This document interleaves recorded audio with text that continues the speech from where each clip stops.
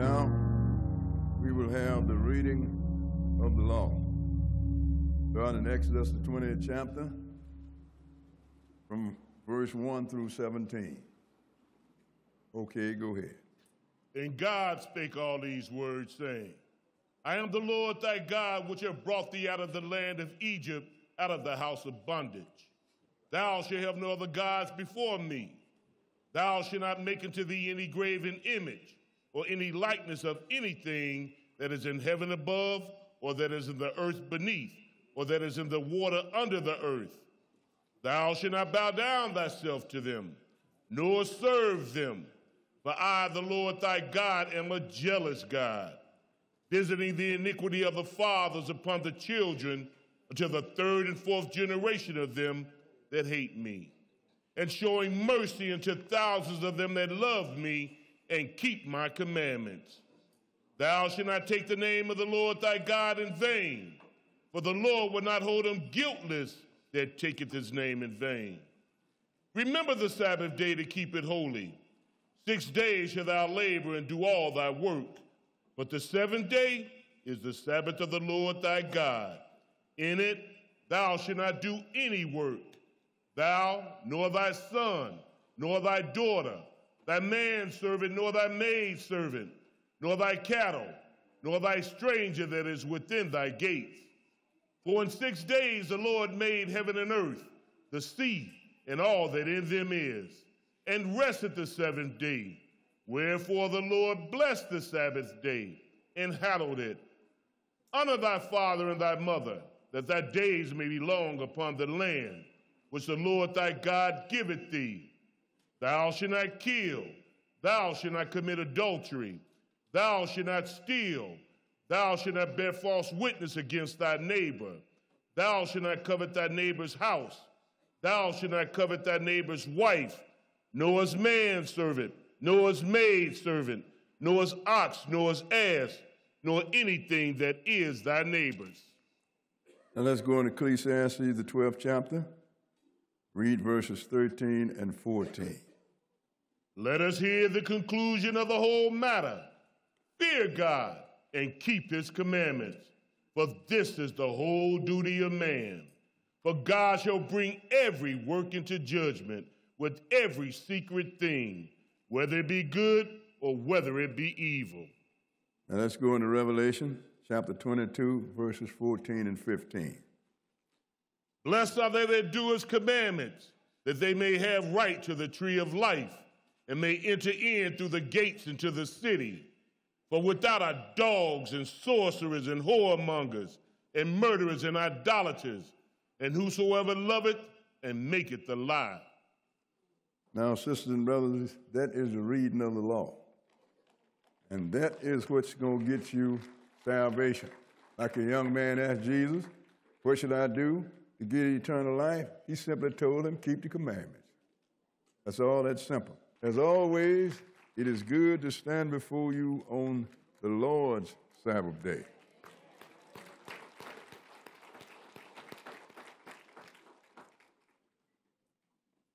You know, sisters and brothers, this lesson is titled, A Prophet Like Unto Moses, A Prophet Like Unto Moses. And what spurred me, by the grace of God, to put this lesson together is because all we got all these people lying on Jesus, having him behave like no prophecy spoke of, and then a lot of my Hebrew brothers hating on Jesus. And that tells me that neither one of them have an understanding in prophecy. Because Jesus told you, you think you have, it's a such a scripture, in them you think you have eternal life, but they are they that testify of me. So we're going to look at this, sisters and brothers, because uh, couldn't nobody with any spiritual eyes miss Jesus, spiritual eyes miss Jesus when he came on, on the scene. Because the Lord already let you know that just like my prophet Moses, you see what happened with Moses? When he come, he's going to do the same thing. but he's just going to do it in greater fashion. Now we're going to start this in Deuteronomy, the 18th chapter. Deuteronomy chapter 18. But wait minute, let me, let me take a pause right here, sister and brother, before we get off into this lesson.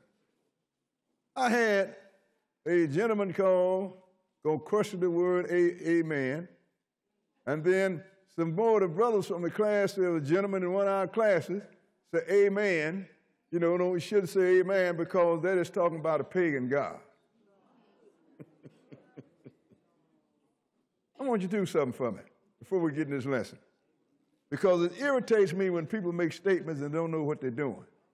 So we're going to see if we can find out who this pagan God is. Let's go into Revelation, the third chapter.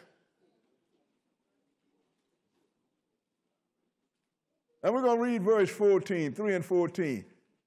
We're going to see who this pagan God is that's called Amen. Brother said he told the guy, show it to me. He couldn't. Well, okay, I'm going to show you this pagan God. Revelation 3 and read verse 14, brother. Read it. And unto the angel of the church of the Laodiceans write. This is Jesus now sending this message. These things saith the Amen, Uh-huh. the faithful and true witness, the beginning of the creation of God. Oh, you mean this amen here is Jesus, ain't it? You're going to tell me that Jesus is a pagan God? I understand he's supposed to be teaching somebody. You don't know this simplicity? I should put you in the children's class. They will eat you alive. because this kind of stuff irritates me when you make statements that only can overthrow the faith of other people. Okay, so much for that. Let's get back to the lesson. Because most of the lessons that are done that I have put together, sisters and brothers, is to straighten out the bad and erroneous teachers, teaching of other people. So we're going to see if Jesus just popped up out of thin air. Or was he already spoken of? Like I said, we're going to Deuteronomy, the 18th chapter now. But I just wanted you to read that. So next time somebody come to you talking about the man is a pagan God, you flip the book over and read that to them. And tell them, why don't you do something? Go somewhere and hide. Because you should be ashamed. Deuteronomy 18, and we're going to start reading at verse 15. Deuteronomy 18 and 15. That's why I tell people all the time when you invite somebody to the Israel of God, tell them to bring a pen, paper, and patience, and also bring your Bible. Because you're going to hear some stuff that you're going to think that we're teaching out of a strange Bible. I want you to bring your Bible, the one that's been collecting dust for the last 50 years. Deuteronomy 18, and we're going to start at verse 15. Okay, go ahead. The Lord thy God will raise up unto thee a prophet from the midst of thee, Uh-huh. of thy brethren like unto me. Unto him ye shall hearken. Now, see, the Lord came down on Mount Sinai himself, and he gave the, Ten Commandments to Israel himself. That's how important it was. He didn't even trust it in the hand of an angel. But when the Lord got through smoking, uh, speaking, and the, and the people saw the smoke and the fire and the sound of the trumpets, which always blow when the coming of the Lord, they said they moved away from the mountain. In short, they ran away from the mountain. Said, "Look, Moses, we don't want to hear the word, hear God's voice no more." So I tell you what, you talk to God, and whatever God tell you, you tell us, and we will do and obey. And Moses tell him, said, "Look, the Lord heard you when you said that, and even told me they have well said what they have said. I understand them." So I'm going to tell you what. The Lord your God going to raise up a prophet from among the midst of thee, of thy brethren, like unto you. That's what he told Moses. Right. And Moses telling people, like unto me. And ye shall hearken. Go ahead and read. Verse 16. According to all that thou desires of the Lord thy God in Horeb, in the day of the assembly, Go ahead. saying, Let me not hear again the voice of the Lord my God, neither let me see this great fire anymore, that I, that I die not. Now you got people already telling me, see, the Lord spoke to me. He spoke to Israel, and they said, we don't want to hear him no more lest we die. And they ran away from the mountain. How come you ain't running if he's talking to you? Tell him. I'm just pointing something out. Go ahead and read. And the Lord said unto me, They have well spoken that which they have spoken. Uh huh. I will raise them up a prophet from among their brethren, like unto thee, and will put my words in his mouth, Uh huh. and he shall speak unto them all that I shall command him. See, that's why Jesus said he speaks only what his Father say. And he do only what his Father, what he have seen. Because he is sent, the Father told him how to tell the people. So he said, look, I heard what they said. So I'm going to raise up a prophet from among them like unto you, Moses. And they better hear this prophet. Go ahead and read. And it shall come to pass that whosoever will not hearken unto my words, Uh-huh. which he shall speak in my name, I will require it of him. So now, if you don't listen to his word, it's going to be required of you. When the Lord used that word required of you, that's talking about the lake of fire, sister and brother. You're going to hear this prophet. So we're going to find out who he is, sisters and brothers. But he said he is just like Moses. So we're going to see what happened to Moses, and we're going to see if this prophet carried out the same thing. Let's go into Exodus, the first chapter. Exodus chapter 1. Because it is evident, sisters and brothers, that people do not read the Bible. That's all to it. And that's all I do. And people get upset at me. And tell people that, that, that listen to me, well, you booeyite. No, you ain't. You're a Bibleite.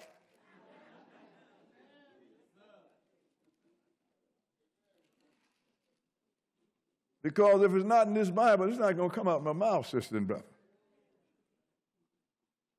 So we're going to start in Exodus 1, and we're going to start reading at verse 1. Because if you, if you will, on, the way, only way you will be able to recognize this prophet like unto Moses, you have to see what happened to Moses. And see if anybody else feel that bill. Verse 1, read it. Now these are the names of the children of Israel which came into Egypt. Every man in his household came with Jacob. Now, all of Israel went out, it, it was in Egypt now. And those are the first enslavers we had, Egyptian. People look just like us.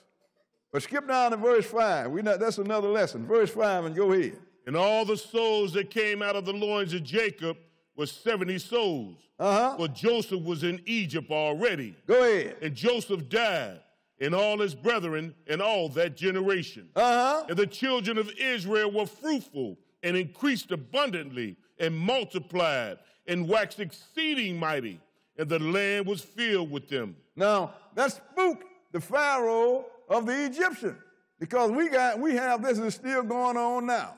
We can out baby anybody. And he kept having all them babies, and the nation was growing like a, a, a, a beaver teeth. Go ahead and read. Now there rose up a new king over Egypt, which knew not Joseph. Uh huh. And he said unto his people, Behold, the people of the children of Israel are more mightier than we. Go ahead. Come on, let us deal wisely with them, Uh huh. lest they multiply. And it come to pass that when there falleth out any war, they join also unto our enemies and fight against us. And so get them up out of the land. Now, I said, now let's deal wisely with them. Because there's too many of them now. So if we get into it with an enemy, they're going to side with the enemy, then they're going to get up out of the land. Because Israel becomes some pretty good service to the Egyptian before they even become chattel slaves. But go ahead. Therefore they did set over them taskmasters. Uh huh. to afflict them with their burdens. Uh-huh. And they built for Pharaoh treasure cities, Pithom and Ramesses. But the more they afflicted them, the more they multiplied and grew. I mean, that's what happened. You get the one that's in worse shape among our people have all the babies. Because you ain't got nothing but your wife. That's right. But then they started to afflict him, and that didn't work, sisters and brothers. The more they afflicted him, the more they grew. So now Israel is in chattel slavery now. Mm-hmm. Skip down to verse 15 and go ahead. And the king of Egypt spake to the Hebrew midwives, of which the name of the one was Shiphrah, Uh-huh. and the name of the other Puah. Go ahead. And he said, When you do the office of a midwife to the Hebrew women and see them upon the stools, if it be a son, then ye shall kill him. But Now- if it be a daughter, then she shall live. Now, that's when the Egyptians tried to wipe out the whole nation of Israel, sisters and brothers. People don't understand it. People like you tried to exterminate you. Because if you kill all the males and save the women, then if the Egyptian or whoever, whatever nationality lay with the woman, the child would not be Israelite, it would be an Egyptian. Y'all understand? Because you are what your father is. I hear people that say all the time, well, you know, I'm part Greek and I'm part Spanish and I'm part. I said, who, who is your daddy? Well, he's Greek. I said, well, you are all Greek. Just like planting a corn, a, a, a, a, seed of a corn by the seaside. When it grow up, it's going to be corn. Put it in the mouth, and it's going to be corn. Plant it in your window vase. When it grow up, it's going to be corn. The women don't make the difference. It's the male that makes the difference. He carried the seed, sister and brother. So they tried to get the midwife to exterminate the males. I know because I was I was uh, uh, uh, delivered by a midwife. Yeah, I was. Next month I'll be 81 years old. So y'all don't know about midwives and stuff like that. I do. Go ahead and read. Verse 17. But the midwives feared God and did not as the king of Egypt commanded them, but saved the men children alive. So now, couldn't get the midwife to do it, so he gave his own people an order. Skip down to verse 21. Verse 21 and read. it. And it came to pass, because the midwives feared God, that he made them houses. He made them houses. But read verse 22. Go ahead. And Pharaoh charged all his people, saying, Every son that is born ye shall cast into the river, and every daughter ye shall save alive. So now, sisters and brothers, from that day on, Israelites had to watch their shoulder, look over their back, because they got somebody always looking in their window. They was already chattel slavery, so they slaves, so they didn't have no privacy. God could come in the mouth and do whatever. If you're a slave, you ain't got no rights, no nothing. So now, in order for Moses to survive this, because this was the time when Moses was born. Let's go into Exodus, the second chapter. And we're going to start at verse 1. Go ahead and read. There went a man of the house of Levi, and took to wife a daughter of Levi. Uh huh. And the woman conceived and bare a son. And when she saw him that he was a goodly child, she hid him three months. Most people don't know that Moses was from the priest tribe, he was a Levite. Even though Aaron carried the title chief priest, Moses was the real chief priest Right. because he, rep- he represented the chief right now, the chief priest that's sitting on the throne of the Father now. So like, when he was born, they hid him for three months. Because, hey, it's pretty rough. They're trying to catch your baby and kill him. Let's see what happened. Go ahead and read. When she could not longer hide him, she took for him an ark of bulrushes Go ahead. and daubed it with slime and with pitch and put the child therein. And she laid it in the flags by the river's brink. So he put him in the, in, in, in the reeds, right uh, in the uh, probably shallow water of the, of the Nile River. Go ahead and read. And his sister stood afar off to wit what would be done to him. Uh huh. And the daughter of Pharaoh came down to wash herself at the river. Go ahead. And her maidens walked along by the riverside. Uh huh. And when she saw the ark among the flags, she sent her maid to fetch it. And Now, Pharaoh's daughter, ain't that something? The daughter of Pharaoh went down by the river. And she run into this baby here. Not any regular Egyptian, the daughter of Pharaoh. So you know this was the hand of the Lord. Right. What happened? Go ahead. Verse 6. And when she had opened it, she saw the child, and behold, the babe wept. Uh huh. And she had compassion on him and said, Go ahead. This is one of the Hebrews' children. Uh huh. Then said his sister to Pharaoh's daughter, Shall I go and call to thee a nurse of the Hebrew women, Uh-huh. that she may nurse the child for thee? Go ahead. And Pharaoh's daughter said to her, Go. And the maid went and called the child's mother. Uh huh. And Pharaoh's daughter said unto her, Take this child away and nurse it for me, and I Uh-huh. will give thee thy wages. And the woman took the child and nursed it. Now, went and got Moses' mother. Now, she could raise Moses under the Pharaoh's daughter protection. That made the difference. Because Pharaoh said Moses was hers. And you know, even now, our people are raising a whole lot of other babies and keeping them, especially in slavery. People hear people always call their grandmother Nana. That started in slavery. But now let's see what happened. What verse? Verse 10 Go ahead. And the child grew, and she brought him into Pharaoh's daughter, Go ahead. and he became her son. And he became a son. Go ahead. And she called his name Moses. Uh huh. And she said, Because I drew him out of the water. Because it's up from the water, sister and brother. That's right. But this is something I, something I always want to point out.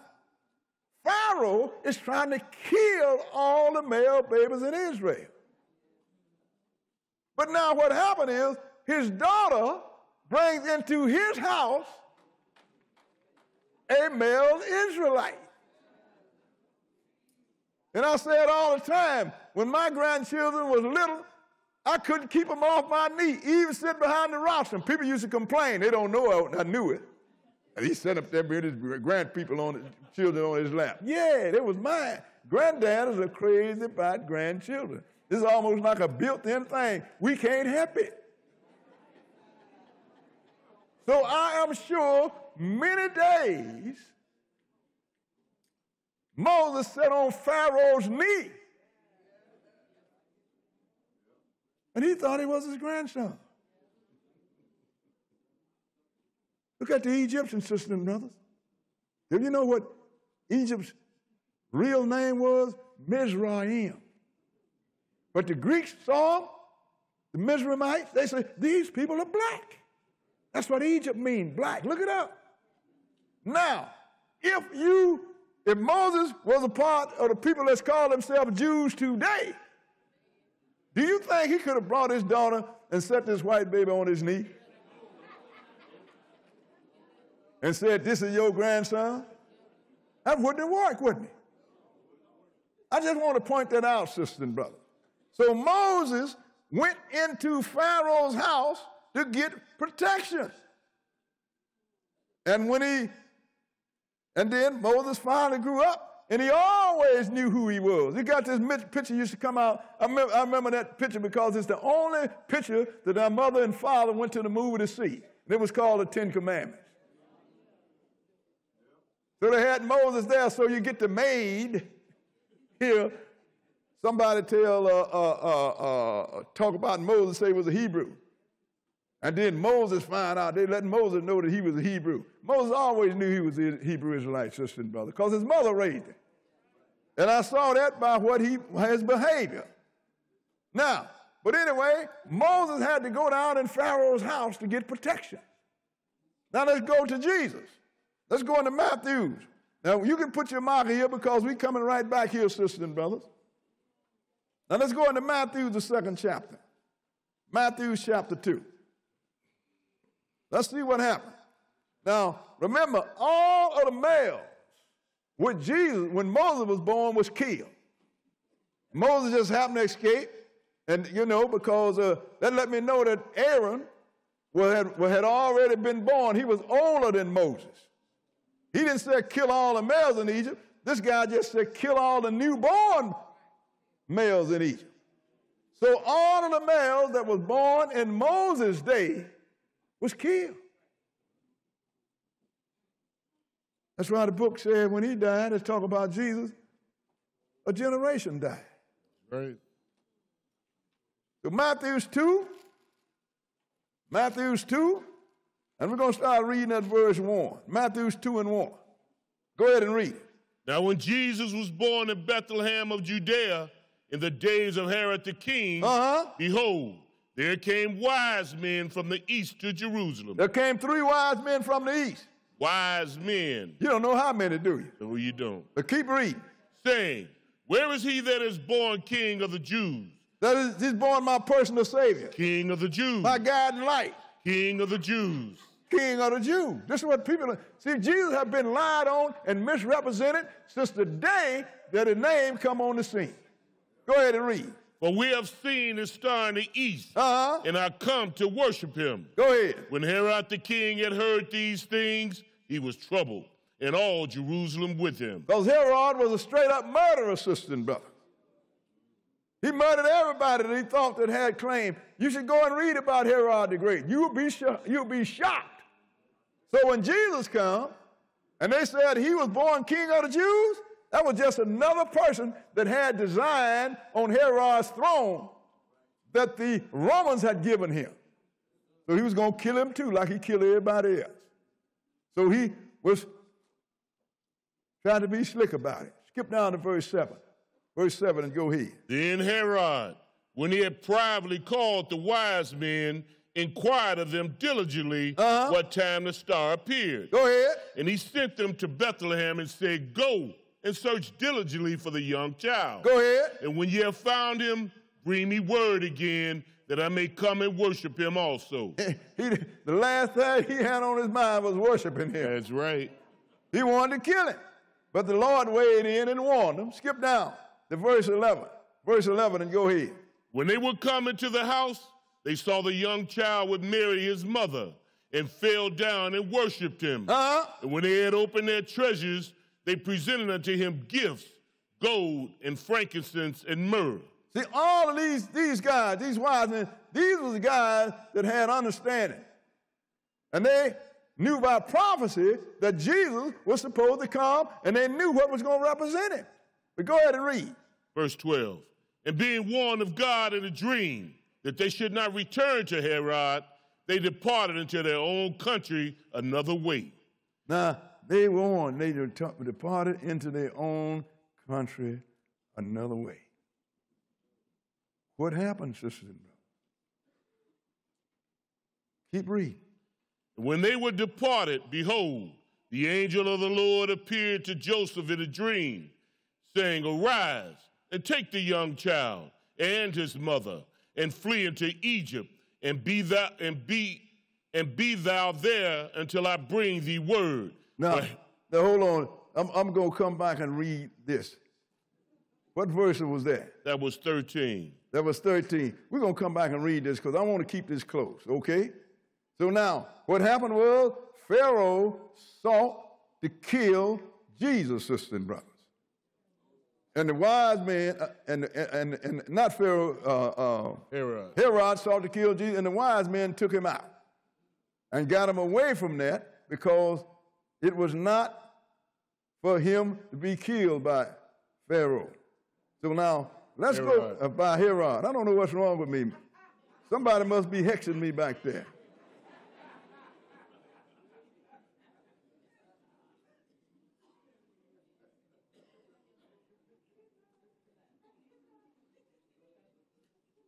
No, it wasn't. Just keep reading before I leave this. What was the last place it was Matthew's what? This is Matthew 13? Go ahead and keep reading. Let me just start over.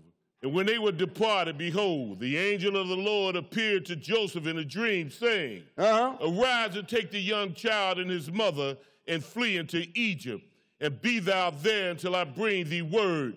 For Herod will seek the young child to destroy him. Now, so where did Moses go? He went into Pharaoh's house, didn't he? Right.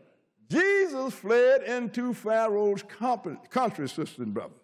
So he was there. And Lord said, stay there until I tell you to come back because Herod seemed is trying to kill this boy. What verse is it? That was the end of 13. Go ahead. When he arose, he took the young child and his mother by night and departed into Egypt, Uh huh. and was there until the death of Herod, Go ahead. that it might be fulfilled which was spoken of the Lord by the prophet, saying, Out of Egypt have I called my son. And now, his firstborn among the nations was Israel.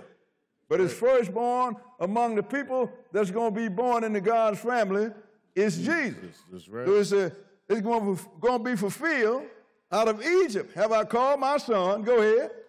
Then Herod, when he saw that he was mocked of the wise men, was exceeding wroth, Go ahead. and sent forth to slew all the children that were in Bethlehem, Go ahead. and in all the coast thereof, from two years old and under, according to the time which he had diligently inquired of the wise men. Now, don't that look like what happened to in the days of Moses? Yes, it does. He killed all, they killed all the babies that was born in Moses' time. I'm talking about not the ones that was older. Only thing Herod went, but then Herod wasn't so smart. It took him two years to figure out that them wise men wasn't coming back to him. so now, when he figured out, he got upset and he killed all of the male babies from two years and older. So now when Moses died, a generation died. That's right. When Jesus died, a generation died.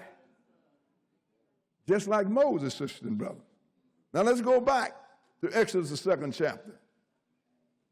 Exodus chapter 2.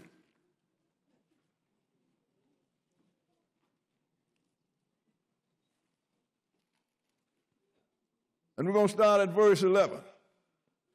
Exodus chapter 2 and verse 11. Because I think, sisters and brother, I'm kind of getting a little wore out because everybody gives everybody my cell number instead of giving the class number. And they called me at home on my cell number all night. But I had to do that. I cut it off at 11 o'clock. So when somebody said, I want to talk to Brother Boyd, tell him to call the class. He's here every day from Monday to Friday. From 9 to 5. And get his old boy a break, okay? Thank you.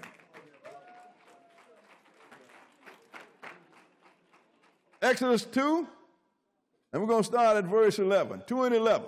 Okay, go ahead. And it came to pass in those days when Moses was grown that he went out into it to his brethren and looked on their burdens, and he spied an Egyptian smited an Hebrew, Uh-huh. one of his brethren.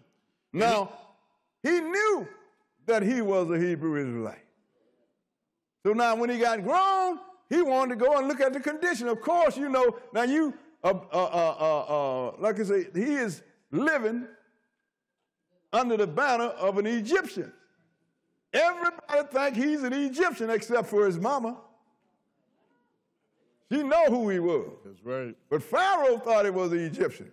But so when he got grown quite naturally, like anybody else, you know, you're curious. Right. I want to go out and maybe talk to my own people. I don't have to tell them that they mine, but I just want to mingle with them a little bit. So when he went out there, he saw an Egyptian whooping on an Israelite. What did Moses do? Go ahead and read. And he looked this way and that way. And when he saw that there was no man, he slew the Egyptian and hid him in the sand. He said this way, that mean he looked around, make sure wasn't nobody seeing him. Then he went over there and he killed the Egyptian. But he forgot one thing. He was among Hebrew Israelites. We can't hold water. Keep reading. And when he went out the second day, behold, two men of the Hebrews strolled together. Uh-huh. And he said to him that did the wrong, Wherefore smitest thou thy fellow? Why are you beating up on your brother, man? Go ahead and read. And he said, Who made thee a prince and a judge over us? Intendest thou to kill me as thou killest the Egyptian? Now you tell the brother to stop whooping on his brother. All of a sudden you're gonna say, Who made you a ruler over us? What you gonna do, man? You gonna kill me like you killed that Egyptian? Moses knew he had a problem. What verse? We're in the middle of 14. Go ahead. And Moses feared and said, Surely this thing is known. the probably was told by the one that he saved from the Egyptian. That's right. Go ahead and read. Now, when Pharaoh heard this thing, he sought to slay Moses. Uh-huh. But Moses fled from the face of Pharaoh and dwelt in the land of Midian, and he sat down by a well. Now, Moses had to run because Pharaoh's going to kill him now. Now it's been revealed that Moses is an Egyptian. Uh, He's uh, Hebrew. is a Hebrew, Hebrew Israelite. He's not an Egyptian. I'm going to kill him. He should have went with the Baals that I killed in his age limit.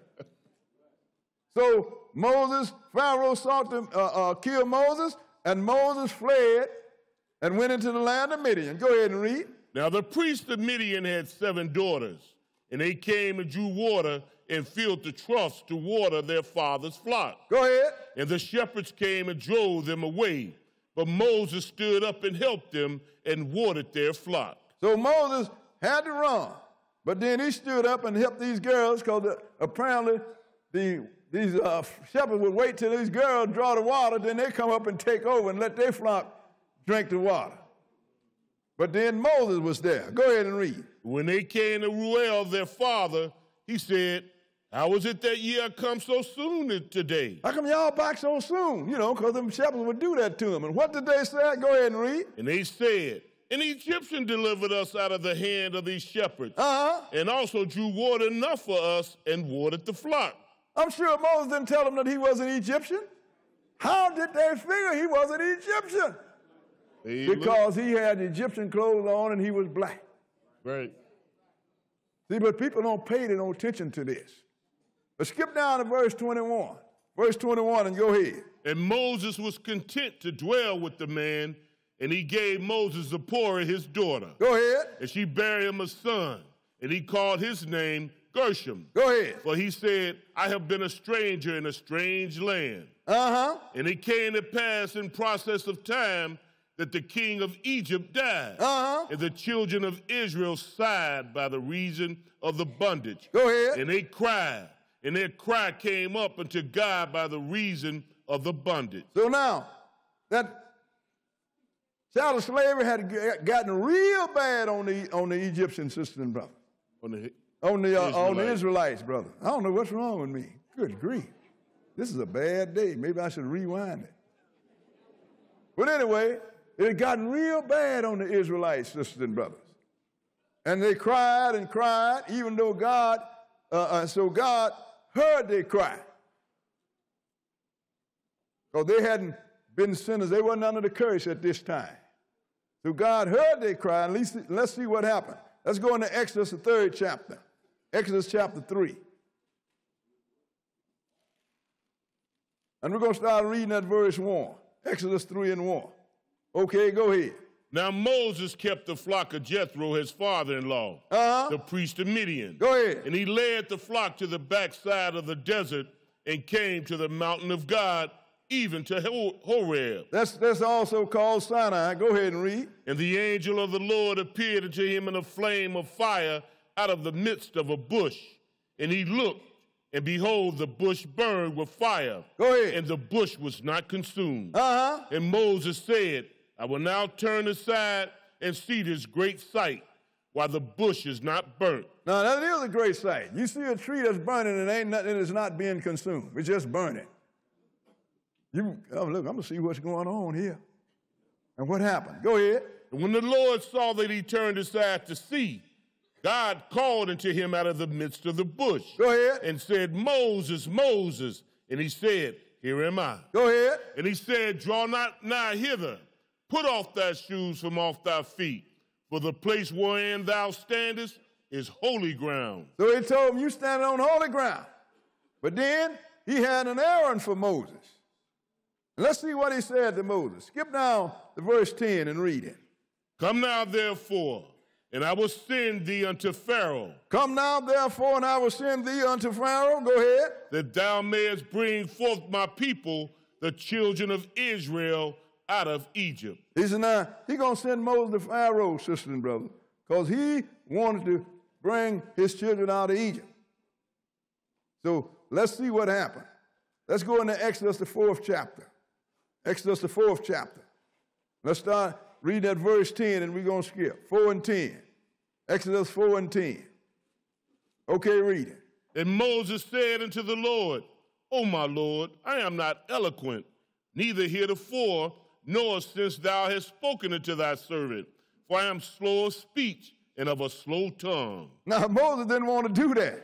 Look, Lord, I'm not eloquent. I ain't no good talker. I'm one of them slow talkers. Oh, uh, uh, uh, wait a Wait a minute. I have something to say. When the Lord said, I'm going to send you back to Egypt to deliver my people. Most people that are truly serving the God don't want to be no serving of God. You don't want to be no preaching, no teaching, or nothing. Because you don't want that to get in your way. I know I was like that. But skip down to verse 14.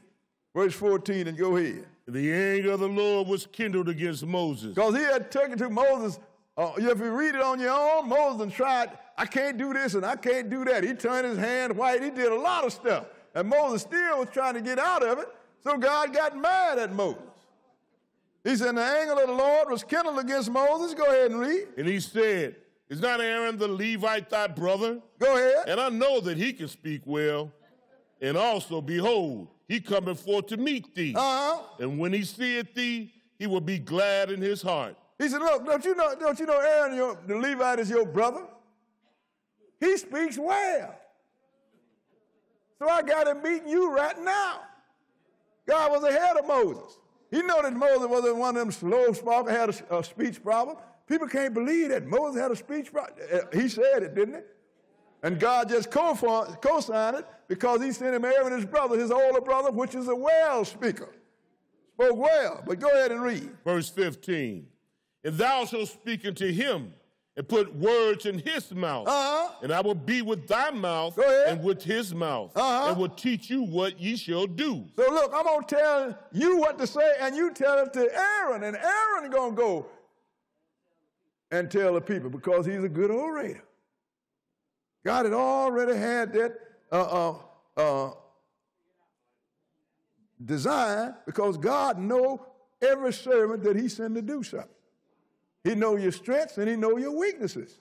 So what he do is he compensate for your weaknesses. And Aaron was a compensation for Moses' weakness, speech weakness. Skip now to verse 19 and let's see what happened there. Verse 19. Go ahead. And the Lord said unto Moses and Midian, uh-huh. Go, return into Egypt, for all the men are dead which sought thy life. Now, pay attention to this. And the Lord said unto Moses and Midian, Return unto Israel, because all that seek Egypt. to uh, return to Egypt, brother. All that seek your life is dead. Return to Egypt. The plan that the Pharaoh that's trying to kill you, he is dead. Now let's see what he said in Jesus' case. Now let's go back to Matthew, the second chapter. Matthew chapter 2.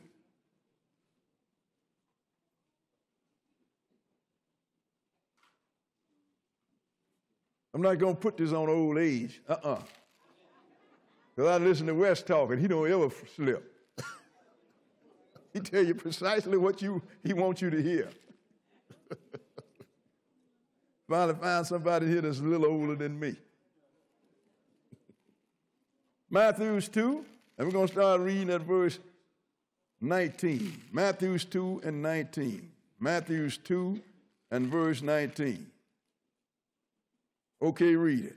But when Herod was dead, behold, an angel of the Lord appeared in a dream to Joseph in Egypt. Now that Pharaoh that sought Jesus' life, he died. The Lord killed him with an ugly death, but we ain't going that's another lesson. Go ahead and read. Saying, Arise and take the young child and his mother uh-huh. and go into the land of Israel. Go ahead. For they are dead which sought the young child's life. Don't that sound familiar? Lord told Moses to go back to Egypt because they're all are dead that seek your life. Then he told Joseph, take this young child back to Israel because they are dead that seek his life. You right. notice how this thing is parallel in sister and mother? Mm-hmm. Moses had to go into Egypt, into Pharaoh's house to hide. Jesus had to go into Pharaoh's country to hide. You know, black history, uh, a week, I have a little picture to show y'all, but I'm going to say that for then. To let you know that it could not be mistaken. Now let's go back to Exodus, the seventh chapter. And let's see what happened now. Because Moses was sent back to Egypt, and let's see what he did while he was in Egypt. Exodus chapter 7. This is just a comparison. So all you have to do is go into the book and find out who did these things, and then you will know that you done ran into Jesus, the one that's like Moses. That's why you're going to raise up a prophet like unto me from among your brethren. That means he had to be an Israelite. He couldn't come Right. as no other person. Right. Seven and one. Seven and one. Okay, go ahead. And the Lord said unto Moses, See, I have made thee a god to Pharaoh, Uh-huh. and Aaron thy brother shall be thy prophet. Isn't that something? I have made you a God with your own prophet, which is Aaron. Okay? Since you can't speak, he can. Go ahead and read. Thou shalt speak all that I command thee, and Aaron thy brother shall speak unto Pharaoh, Uh-huh. that he send the children of Israel out of his land. Yeah, because because the Lord wouldn't send a man that couldn't hardly talk. Not, not look here, uh, uh, Pharaoh. Uh, uh, the Lord said, uh-uh, he ain't gonna do that. He gonna want somebody that's eloquent. Look here, Pharaoh. Thus said the Lord. So the Lord fixed this thing. Okay? Go ahead and read. And I will harden Pharaoh's heart, And I'm gonna harden Pharaoh's heart. This people don't understand. When you do something to the Lord, He gonna get you. Pharaoh and the Egyptians had really desecrated Israel. You didn't work them for nothing. You didn't beat them. You didn't kill them. Now you didn't kill all the male babies in a generation. You think that God gonna let you get away with that? Uh-uh. He said, I want you to go talk to him, but I'm to harden his heart. Go ahead and read. and multiply my signs and my wonders in the land of Egypt. Go ahead. But Pharaoh shall not hearken unto you, that I may lay my hand upon Egypt. Now that's what he wanted to do. Right? I want to get these people for what they did to my people. That's why I tell people all the time don't be running around trying to fight the Lord's battle. The Lord is the one that put us in captivity. And the Lord's going to deal with the ones that mistreated us in captivity because he said, I was just a little displeased with my people, but you have fathered the affliction. You got your problem. I want you to slap him around a little bit. I didn't want you to knock him down and stomp on him and kick his teeth in.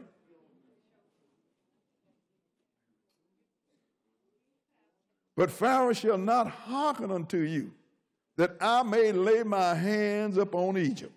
This is the Lord talking here. Right. He ain't gonna let him listen. Go ahead and read. And bring forth mine armies and my people, the children of Israel, out of the land of Egypt Uh-huh. by great judgments. Now he said, I'm gonna do it. That great judgment, that means he's gonna do some big damage. Go ahead and read. And the Egyptians shall know that I am the Lord. Go ahead. When I stretch forth mine hand upon Egypt Uh-huh. and bring out the children of Israel from among them. So then the Egyptians gonna know that he is the Lord. That's like when the Lord re- recover us, the world is gonna know that we are the real Hebrew Israelite. You don't have to run around, look at me, look at me. The world gonna know. Skip down to verse 14 and go ahead. And the Lord said unto Moses, Pharaoh's heart is hardened. He refuseth to let the people go. Go ahead. Get thee unto Pharaoh in the morning. Lo, he goeth out into the water, and thou shalt stand by the river's brink against he come. And the rod which was turned to a serpent shall thou take in thine hand. And thou shalt say unto him, The Lord God of the Hebrews has sent me unto thee, saying, Go ahead. Let my people go. Now, Moses know he ain't gonna let him go because God told him he ain't gonna let him go. But he said, the Lord God of the Hebrews said, let my people go. Go ahead and read. that they may serve me in the wilderness. Uh-huh. And behold, hitherto thou wouldest not hear. Thus saith the Lord, in this thou shalt know that I am the Lord. Go ahead. Behold, I will smite with the rod that is in mine hand upon the waters which are in the river, Uh-huh. and they shall be turned to blood. Go ahead. Now they're going to be turned to blood. He told them that he's going to do this. See, the Lord didn't do something and you didn't know it. He let Pharaoh know what he's going to do because he had told Moses and Moses told Aaron. And he said, and I'm going to turn the river to blood. Skip down to verse 20 and let's see what happens. Go ahead. And Moses and Aaron did so, as the Lord commanded. Uh-huh. And he lifted up the rod, and he smote the waters that were in the river. Go ahead. In the sight of Pharaoh, Uh-huh. in the sight of his servants, and all the waters that were in the river were turned to blood. And they standing right there. He put that water, rod in that river, and it turned to blood. Go ahead and read. And the fish that was in the river died, and the river stank, and the Egyptians could not drink of the water of the river, and there was blood throughout all the land of Egypt. Uh-huh. And the magicians of Egypt did so with their enchantments. And Pharaoh's heart was hardened, neither did he hearken unto them as the Lord had said. So the Egyptians, these are the false prophets in this case. The, the magicians, they go, look, he ain't did nothing. We can do that too. Whether with a false, you know, uh, uh, vision. But still, the water was blood. Right. But because the Egyptians said we can do the same thing, it's hard and hard again. I ain't letting y'all go nowhere. Because the Egyptians pulled that off. What did you finish that? Yes, I did. Was that verse 22? Yeah. Now let's see what happened. We're going to look at the, that was the first plague. He turned the water to blood. I want you to keep a number because these make a difference. In the end of this, close to the end of this lesson. Now let's go into Exodus, the eighth chapter. Now it's hard and hard, even though the water is blood. Let's see what happened. Eight and one. Go ahead and read. And the Lord spake unto Moses, Go unto Pharaoh and say unto him, Thus saith the Lord, Go ahead. Let my people go, Uh-huh. that they may serve me. Go ahead. And if they, thou refuse to let them go, behold, I will smite all thy borders with frogs. Ooh, that would scare me because that's the only thing on this planet that I'm afraid of. Oh, I shouldn't have told y'all that. But go ahead and read.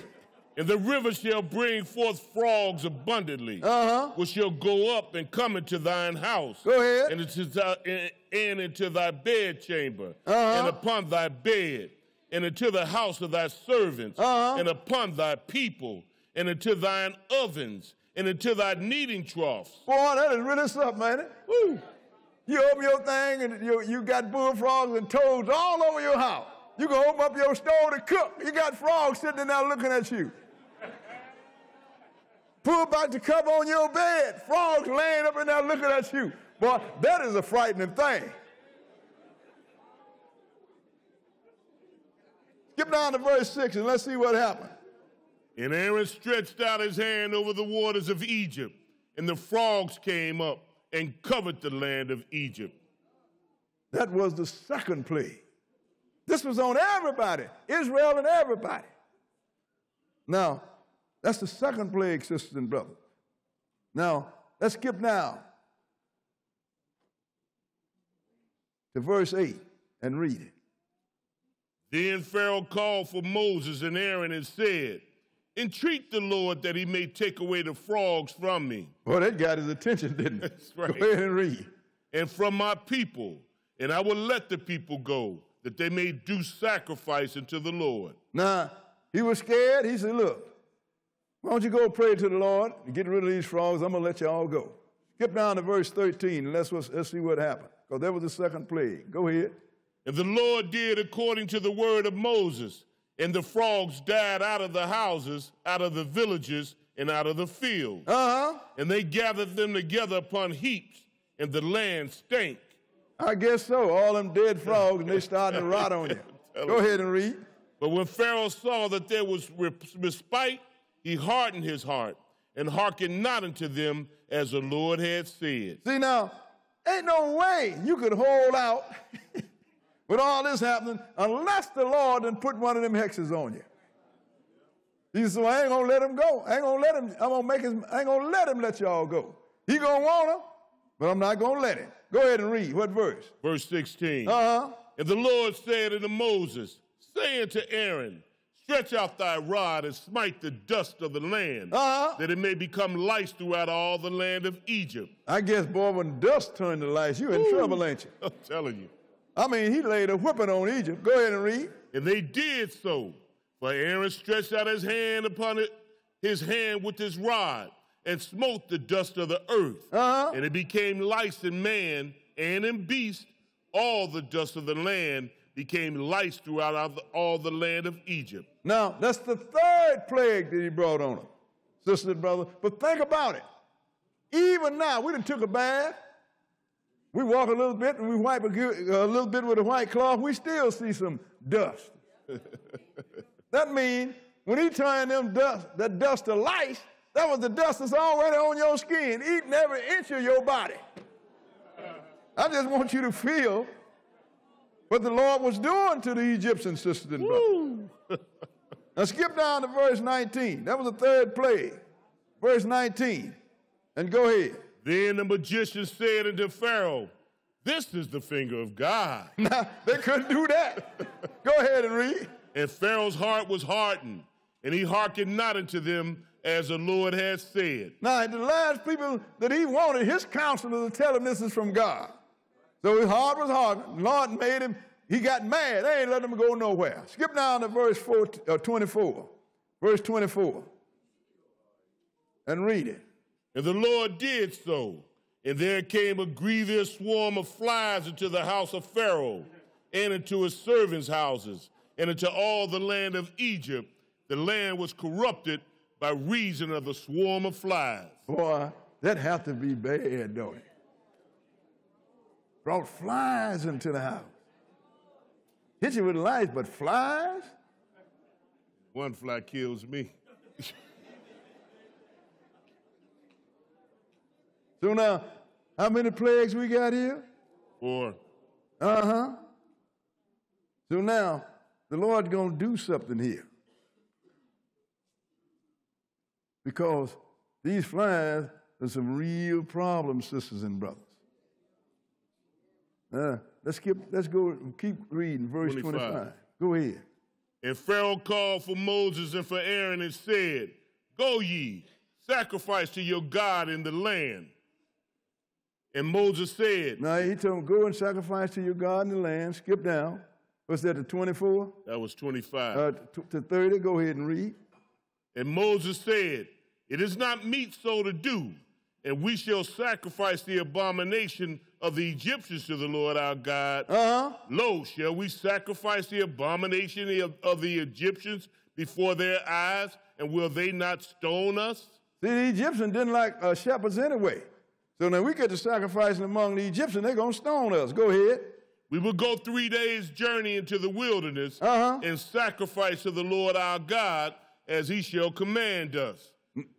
Now, we're going to go and sacrifice if he have commanded us. Go ahead and read. And Pharaoh said, I will let you go that you may sacrifice to the Lord your God in the wilderness, only ye shall not go very far away. Entreat for me. Now, I'm going to let you go, but I don't want you to go very far. Now, how far we got? What verse was that? That was the end of 28. Now, let's start at verse 30 and continue. Go ahead. And Moses went out from Pharaoh and entreated the Lord. And the Lord did according to the word of Moses. And he removed the swarm of flies from Pharaoh, Go ahead. from his servants, and from his people. There remained not one. And Pharaoh hardened his heart at this time also, neither would he let the people go. So he hardened his heart again. So the Lord had brought all these plagues up on Egypt. How many plagues did he bring up on Egypt at that time? Seven. We let, let's look at them first now. The first one was blood. That was the plague. The second one was frogs. The third one was lice. Okay? But what happened was, I didn't read it, the Lord made a difference between his people and the Egyptians, okay? And let's go and look at this. Let's go into Exodus, the ninth chapter. Exodus chapter 9, and we're going to start reading at verse 1. Exodus 9 and 1. Okay, go ahead. Then the Lord said unto Moses, Go in unto Pharaoh and tell him, Thus saith the Lord God of the Hebrews, let my people go, that they may serve me. Go ahead. For if thou refuse to let them go, and will hold them still, behold, the hand of the Lord is upon thy cattle, which is in the field, Go ahead. upon the horses, upon, upon the asses, upon the camels, upon the oxen, and upon the sheep. Go ahead. There shall be a very grievous murrain, and the Lord shall sever between the cattle of Israel and the cattle of Egypt, and there shall nothing die of all that is the children of Israel. He said, but I'm going to make a difference now. I'm going to separate them. Because he didn't hit everybody. Actually, with that, with three, somewhere he had made a difference already. He hit him with three. So the fourth is really is when he started to uh, uh, uh, separate Israel from Egypt. So okay, he said, I'm gonna make a difference between them now, and I'm gonna separate them. Now skip now. Let's keep reading into verse seven. Go ahead Verse now. 5. Uh, Verse uh, five, brother. Go ahead. And the Lord appointed a set time, saying, Tomorrow the Lord shall do this thing in the land. Go ahead. And the Lord did that thing on the morrow. Uh-huh. And all the cattle of Egypt died, but of the cattle of the children of Israel died not one. Look, he has separated Israel from the Egyptians. He really has separated them uh, uh, uh, after the swarm of after the swarm uh, uh, after the swarm of flies. So that means this was the second plague now that he didn't drop on Egypt that Israel didn't suffer because he separated them. We got to make sure that we understand that. What verse are we now? That was the end of six. Okay, so at the end of six, now he done separated them from them. Now, this is his second plague. But verse seven, go ahead. And Pharaoh sent, and behold, there was not one of the cattle of the Israelites dead. Go ahead. And the heart of Pharaoh was hardened, and he did not let the people go. Go ahead. And the Lord said unto Moses and unto Aaron, Take to you handfuls of ashes of the furnace, and let Moses sprinkle it toward the heaven in the sight of Pharaoh. Go ahead. And it shall come, and it shall become small dust in all the land of Egypt, and shall be a boil breaking forth with blains upon man and upon beast All throughout all the land of Egypt. Now, all of a sudden, everybody broke out with boils. That was the uh, sixth plague, but there was a third one for, e- for Israel. Egypt. That was the sixth plague. That was the, that was the uh, uh, no, this is the separation. The third one from Israel, because you started to count all over again. You got three he brought on all Egypt. Then he separated Israel from Egypt. Then he brought one, which was uh, uh, which was four and one is the same thing. The flies. And then we get down here to verse ten. This was the sixth plague, but the third one that he had separated Israel from. Israel didn't feel this plague, sisters and brothers. Right, right, The third one. Okay. What verse are we? That was the end of nine. Okay, go ahead. And they took ashes of the furnace and stood before Pharaoh, and Moses sprinkled it toward heaven, and it became a boil breaking forth with blains upon man and upon beast. Now, he threw that up. Now, this is the next one coming up. That was the third one for Israel. When they broke out in boils, everybody started, you know, you had boils before. How would you like them all over your body?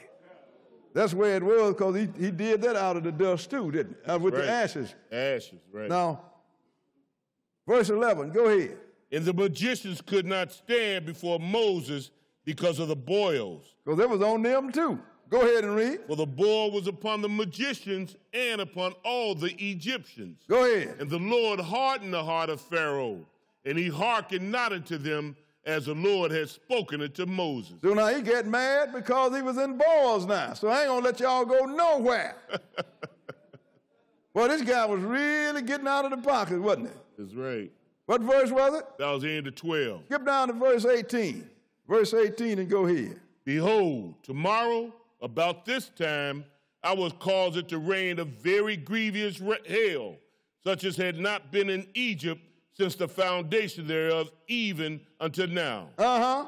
Send therefore now and gather thy cattle, and all that thou hast in the field. Go ahead. For upon every man and beast which shall be found in the field and shall not be brought home, the hail shall come down upon them, and they shall die. Now, you're going to bring this. If you don't listen, let them go, I'm going to bring hell on you. They didn't listen, as usual. What verse was it? That was the end of 19. Skip down to verse 22 and go ahead. And the Lord said unto Moses, Stretch forth thine hand toward heaven, that there may be hail in all the land of Egypt upon man and upon beast and upon every herb of the field throughout the land of Egypt. So now brought hail down on them. And this hail was the fourth plague. Keep, uh, skip down to, uh, uh, what was that, 19? That was 22. 22, skip down to verse 35. 25? Was it 35? 25. go ahead, because I'm trying to get through this. Verse 25, and go ahead. And the hail smote throughout all the land of Egypt all that was in the field, both man and beast. Uh-huh. And the hail smote every herb of the field and break every tree of the field. Now, that's pretty bad, isn't it? Broke up everything. Fourth plague. Now let's go and skip down to verse 35. Verse 35, and go ahead. And the heart of Pharaoh was hardened, neither would he let the children of Israel go, Go ahead. as the Lord had spoken by Moses. So now, the Lord did that, and he hardened Pharaoh's heart. He told him, y'all ain't going nowhere. No. How many plagues was that we just got through counting? That's the fourth one, wasn't it? Now let's go into Exodus, the 10th chapter. Exodus chapter 10. And we're going to start reading at verse 3. 10 and 3, because uh, because Pharaoh wouldn't let them go. Go ahead and read. And Moses and Aaron came in unto Pharaoh and said unto him, Thus saith the Lord God of the Hebrews, Uh-huh. How long wilt thou refuse to humble thyself before me? Go ahead. Let my people go, Uh-huh. that they may serve me. Go ahead. Else, if thou refuse to let my people go, behold, tomorrow will I bring the locusts into thy coast. So he's, he, he using the elements on him, isn't it? Yes, sir. Tomorrow I will bring the locusts upon y'all. Didn't listen. Skip down to verse 12. Verse 12. And go ahead. And the Lord said unto Moses, Stretch out thine hand over the land of Egypt.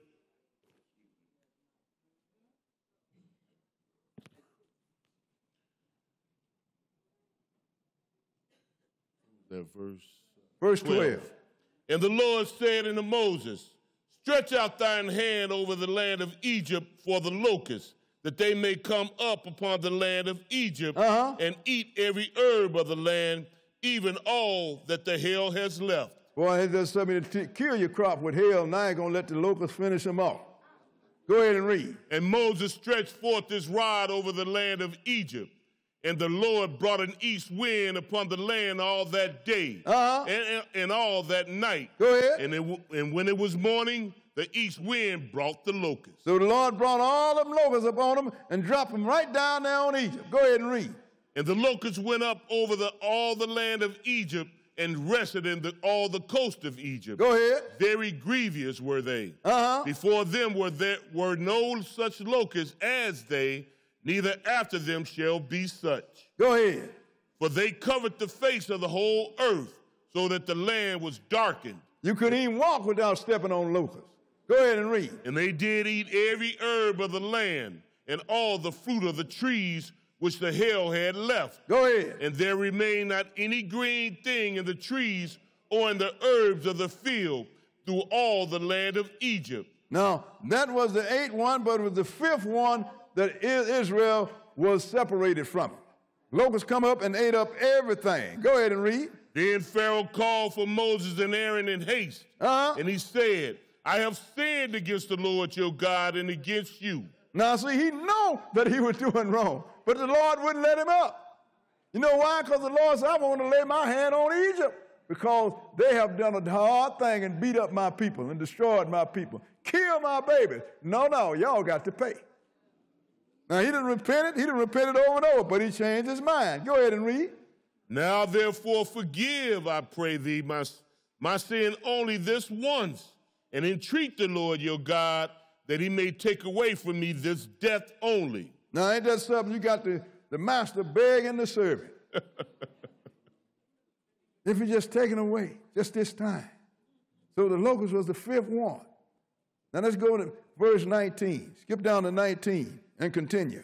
And the Lord turned a mighty strong west wind, which took away the locusts Uh-huh. and cast them into the Red Sea. Go ahead. There remained not one locust in all the coast of E- Egypt.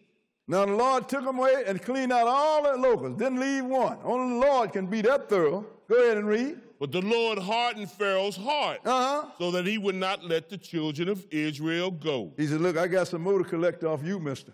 Right. I ain't letting you up that easy. Go ahead and read. And the Lord said unto Moses, Stretch out thine hand toward heaven, that there may be darkness over the land of Egypt, Go ahead. even darkness which may be felt. That is real dark, ain't it? That means you can't move. If you can feel it, go ahead and read. And Moses stretched forth his hand toward heaven, and there was a thick darkness in all the land of Egypt three days. Uh huh. They saw not one another, neither rose any from his place for three days. You, can, you couldn't even look over and look at your old lady. it was that dark. He said they saw not one another. And they were there for three days. Go ahead. But all the children of Israel had light in their dwellings. Now, so that was in the land of Goshen. That's right. They had light. Pharaoh knew that. So what plague, plague was that? That was the sixth plague. Now to go skip down to verse 24. Now, in fact, read right on into verse 24. Go ahead and read. And Pharaoh called unto Moses and said, Go ye, serve the Lord. Only let your flocks and your herds be stayed. Uh-huh. Let your little ones also go with you. Go ahead. And Moses said, Thou must give us also sacrifices and burnt offerings that we may sacrifice unto the Lord our God. Go ahead. Our cattle also shall go with us. Uh-huh. There shall not a hoof be left behind. That Moses talking Yes, big he was. We're going to take them all and there ain't going to be a hoof left behind. I like to see the expression on his face when he said that. I guess he got off into his flesh for a minute there, didn't Yes, he Did. Go ahead and read. For there must we take to serve the Lord our God. Uh-huh. We know not what with we know not with what we must serve the Lord until we come thither. Go ahead. But the Lord hardened Pharaoh's heart, Uh-huh. and he would not let them go. And Pharaoh got mad now because he didn't get Moses and talk uppity to him. Yes, sir. Go ahead and read. And Pharaoh said unto him, Get thee from me. You better get out my face. Go ahead. Take heed to thyself. You better watch your mouth. Go ahead. See my face no more. Don't see my face no more. For in that day thou seest my face, thou shalt die. When the day you get in my face again, mister, that's the day you're going to die. Because he didn't like Moses talking to him that way. No, it didn't. Go ahead and read. And Moses says, Thou hast spoken well. I will see thy face again no more. You said it, mister. I ain't going to see your face no more. So that was the sixth plague when they hit him with that darkness, sisters and brothers. So now, you got one more left. Let's go into Exodus, the 12th chapter. That was Exodus chapter 12. And we're going to start it at verse 1. Exodus 12 and 1. Okay, go ahead. And the Lord spake unto Moses and Aaron in the land of Egypt, saying, This month shall be unto you the beginning of months. Go ahead. It shall be the first month of the year to you. Uh huh. Speak ye unto all the congregation of Israel, saying, In the tenth day of this month they shall take to them every man a lamb according to the house of their fathers, a lamb for a house. Go ahead. And if the household be too little, Now that's for the- enough. Uh, according to the house. Skip down to verse 5 and go ahead. your lamb shall be without blemish, a male of the first year. Because this lamb really represents Jesus. That's right. A male of the first year, he had to be perfect. Go ahead and read. Ye shall take it out from the sheep or from the goat, Go ahead. and ye shall keep it up until the fourteenth day of the same month. Uh-huh. And the whole assembly of the congregation of Israel shall kill it in the evening. Now you're going to keep it up and you're going to kill it in the evening. Go ahead and read. And they shall take of the blood and strike it on the two side posts and on the upper door posts of the houses wherein they shall eat it. Uh huh. And they shall eat the flesh in that night, roast with fire and unleavened bread, and with bitter herbs they shall eat it. Now you're going to take the blood and put it over your doorpost. Why do you have to put the blood over your doorpost and the signpost? Because the Lord going to do something here. Skip down to verse 12. Verse 12 and go ahead. For I will pass through the land of Egypt this night and will smite all the firstborn in the land of Egypt, Uh-huh. both man and beast. Go ahead. And against all the gods of Egypt I will execute judgment. I am the Lord. So I'm going to come through here and I'm going to kill the firstborn of everything. Look, Egypt killed the Lord's sons. So God, God said, Well, I'm going to do what? I'm going to kill the firstborn of yours. Not only you, but your cows and your oxen and everything else too. Go ahead and read. And the blood shall be to you for a token upon the houses where ye are. Go ahead. And when I see the blood, I will pass over you. Now, the blood shall be a token unto you. You know what that token is? The token of your faith. Right. That means when you saw that, when you put that blood over your doorpost, you believed that God was going to come through and kill the firstborn. If you didn't believe it, you wouldn't have put it over your doorpost. People think faith started with Matthews. No. Faith has always been around. That's right. So when I see the blood, I'm going to pass over you. That's what the word Passover came from. What verse was that? This is middle of 13. Go ahead. And the plague shall not be upon you to destroy you when I smite the land of Egypt. Uh-huh. And this day shall be unto you for a memorial, and ye shall keep it a feast to the Lord throughout your generations. Ye shall keep it a feast by an ordinance forever. Now, if the Jew, Egyptians heard that and would have got some blood and put it on their doorpost, the Lord wouldn't have smoked them either. Some of them probably did hear it and didn't believe. That's right. Because it said it was not one, he killed one in every house. Every house, sisters and brothers. Nothing escaped. Skip down to verse 29. And go ahead. And it came to pass that at midnight the Lord smote all the firstborn in the land of Egypt. Go ahead. From the firstborn of Pharaoh that sat on his throne until the firstborn of the captive that was in the dungeon. Go ahead. And all the firstborn of cattle. Uh-huh. And Pharaoh rose up in the night, he and all his servants and all the Egyptians. And there was a great cry in Egypt. Go ahead. For there was not a house where there was not one dead. I mean, he killed them all over. But read the other verse. Go ahead and read. Verse, And verse uh, uh, uh, 31. That was that that was a, that was the seventh plague, wasn't it? And this is the one that sprung Israel. It was the tenth plague, but it was the seventh one that Israel was separated from the Egyptian. Firstborn in Egypt, in Egypt, Israel didn't die, but the firstborn in Egypt and everybody else and every beast of the field died. That was the seventh plague, sisters and brothers. And that's what sprung Israel. Verse 31, go ahead. And he called for Moses and Aaron by night and said, Rise up and get you forth from among my people, Go ahead. both ye and the children of Israel, Uh-huh. and go serve the Lord as ye have said. Now I want you to rise and go. He didn't. He got all of a sudden he wasn't so cocked in, was he? no. Serve the Lord as you said. Go ahead. Also, take your flocks and your herds, Every hoof. Go ahead. As ye have said, Uh-huh. and be gone. Go ahead. Bless me also. He wanted. He want, He knew who he was dealing with now. Because the Lord said, "Then the Egyptians gonna know that I am the Lord."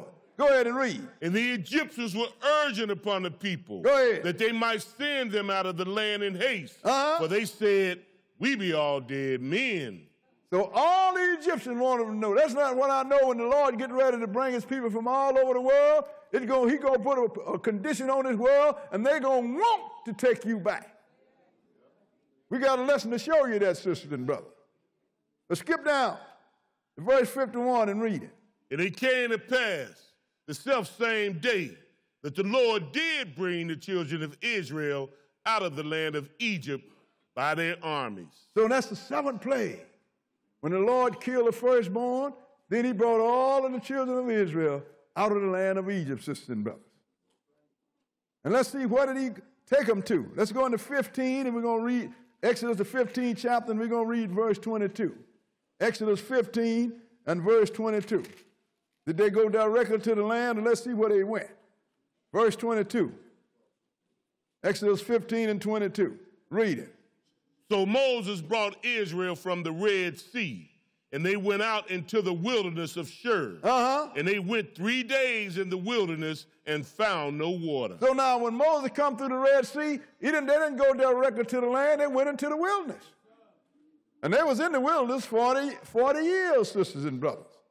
So what we're going to do is, we're going to go and look and see what Jesus is going to do to the world before he recover Israel from bondage. There's got to be something on the same order because he said, I'm going to raise up one from among your brethren like unto you. Now, so far, we've seen that happen. That's right. We see Jesus, Moses, born and had to run, and all the males in his time was killed. We see Jesus born, and his parents had to run, and all the males in his time was killed. Then the Lord turned around when he killed Egypt, told, told Moses, all that seek, go back to uh, Egypt, because all that seek your life is dead. Then he told Joseph, go back to Israel, because all that seek your life is dead. We're on the same order here. So now here comes Jesus. Now we see Moses came and he took down Egypt and delivered Israel and took them to the wilderness. Let's see what's going to happen when Jesus comes. Revelation, the fifth chapter now. Revelation chapter 5. I should have warned y'all about this lesson. I think I did the last time I did it, what, about three years ago? Revelation 5 and verse 1. Revelation 5 and 1. Because I just I want to make sure that you see the parallel. So you won't have you won't have any doubt in your mind that Jesus is the one that the Lord spoke about, starting with Moses, by all his prophets. 51 and 1. Go ahead. And I saw in the right hand of him that sat on the throne a book written within and on the backside, Now this sealed with seven seals. Now this is the fathers now. Sealed with seven seals. Now, nobody could deal with this book. Skip down and read verse 5. Verse 5 and read it. And one of the elders said unto me, Weep not. Behold, the lion of the tribe of Judah, the root of David, has prevailed to open the book and to loose the seven seals thereof. So that book that the father had in his hand, sealed with seven seals, he said, could no man uh, uh, break loose them seals? Could nobody in earth or on earth? And so John started to cry. He said, don't cry. You got the lion of the tribe of Judah. He can open the seal. Who is the lion of the tribe of Judah? Jesus, sisters and brothers. He can open the seal. And let's see what happened. Let's go in the sixth chapter of Revelation and start at verse 1. Let's see what happened when he opened the seal. 6 and 1. Go ahead. And I saw in the Lamb open one of the seals, and I heard as it were the noise of thunder. Uh huh. One of the four beasts saying, Come and see. Go ahead. And I saw and behold a white horse, and he that sat on him had a bow, Uh-huh. and a crown was given unto him, and he went forth conquering and to conquer. Look, who is this one on the white horse? That's the Pope of Rome, sister and brother. That's why people tell me we're in the seals. No, you cannot be in the seals. Because the first thing have to happen is the people that call themselves Jews have got to build a temple over there. That's right. And once they till- build a temple, then Pope gonna leave from Rome and the European Union, which is the beast in the 17th chapter and 13th chapter of Revelation with seven head and ten horns. They gonna install him in that temple, and that's when he gonna start his trek. And you're looking at it right now because he is already started in Europe. He's he gonna first thing on the agenda is to make so Sunday now becomes what? the Sabbath day. And Monday gonna be the first day of the week. It's already started in Europe, sister and brother, but the world ain't paying no attention to it. He gonna try to put this on all and, and other stuff too, like going to heaven and all that stuff.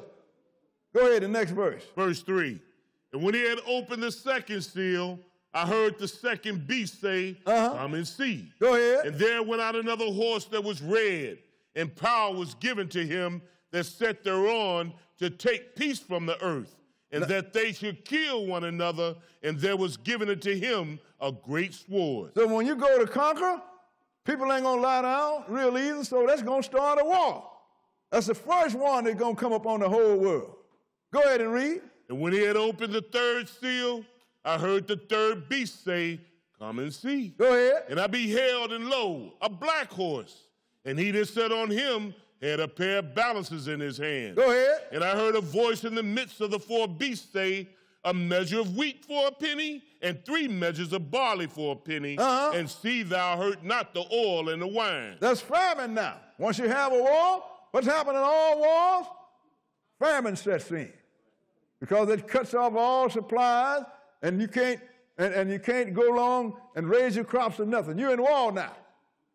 Famine. That's the second plague. Go ahead and read. Verse 7. And when he had opened the fourth seal, I heard the voice of the fourth beast say, Come and see. Go ahead. And I looked, and behold, a pale horse, and his name that sat on him was Death, and hell followed with him. Go ahead. And power was given unto them over the fourth part of the earth to kill with the sword, and with hunger, and with death, and with beasts of the earth. Now we have other lessons. We will show you that these people will have a fourth part of the earth. We're going to be ruling. Now, once they take over, that's the European Union now. With the Pope behind them, they're going to take over and they're going to be, they can kill who they want to kill, anytime they want to kill, in any fashion that they want to kill. And that is the third plague.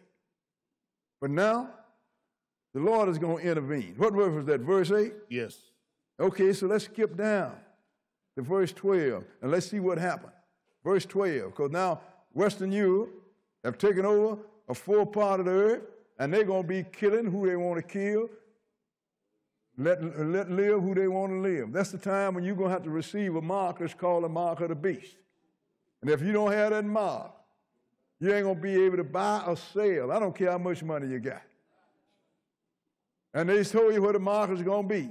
It's going to be in your forehead and in your right hand. And I keep telling people all the time, they are practicing that right now on Ash Wednesday. If you didn't know that, pay attention on Ash Wednesday. You're going to see all these people walking around with dirty foreheads and dirty hands. Getting you ready for a time that's called the Great Tribulation. Getting you ready for the mark of the beast. So when you get that, you are going to have a problem. But now, what puts an end in the time that's going to be, at that time, is going to be called the Great Tribulation too. So what's going to end it?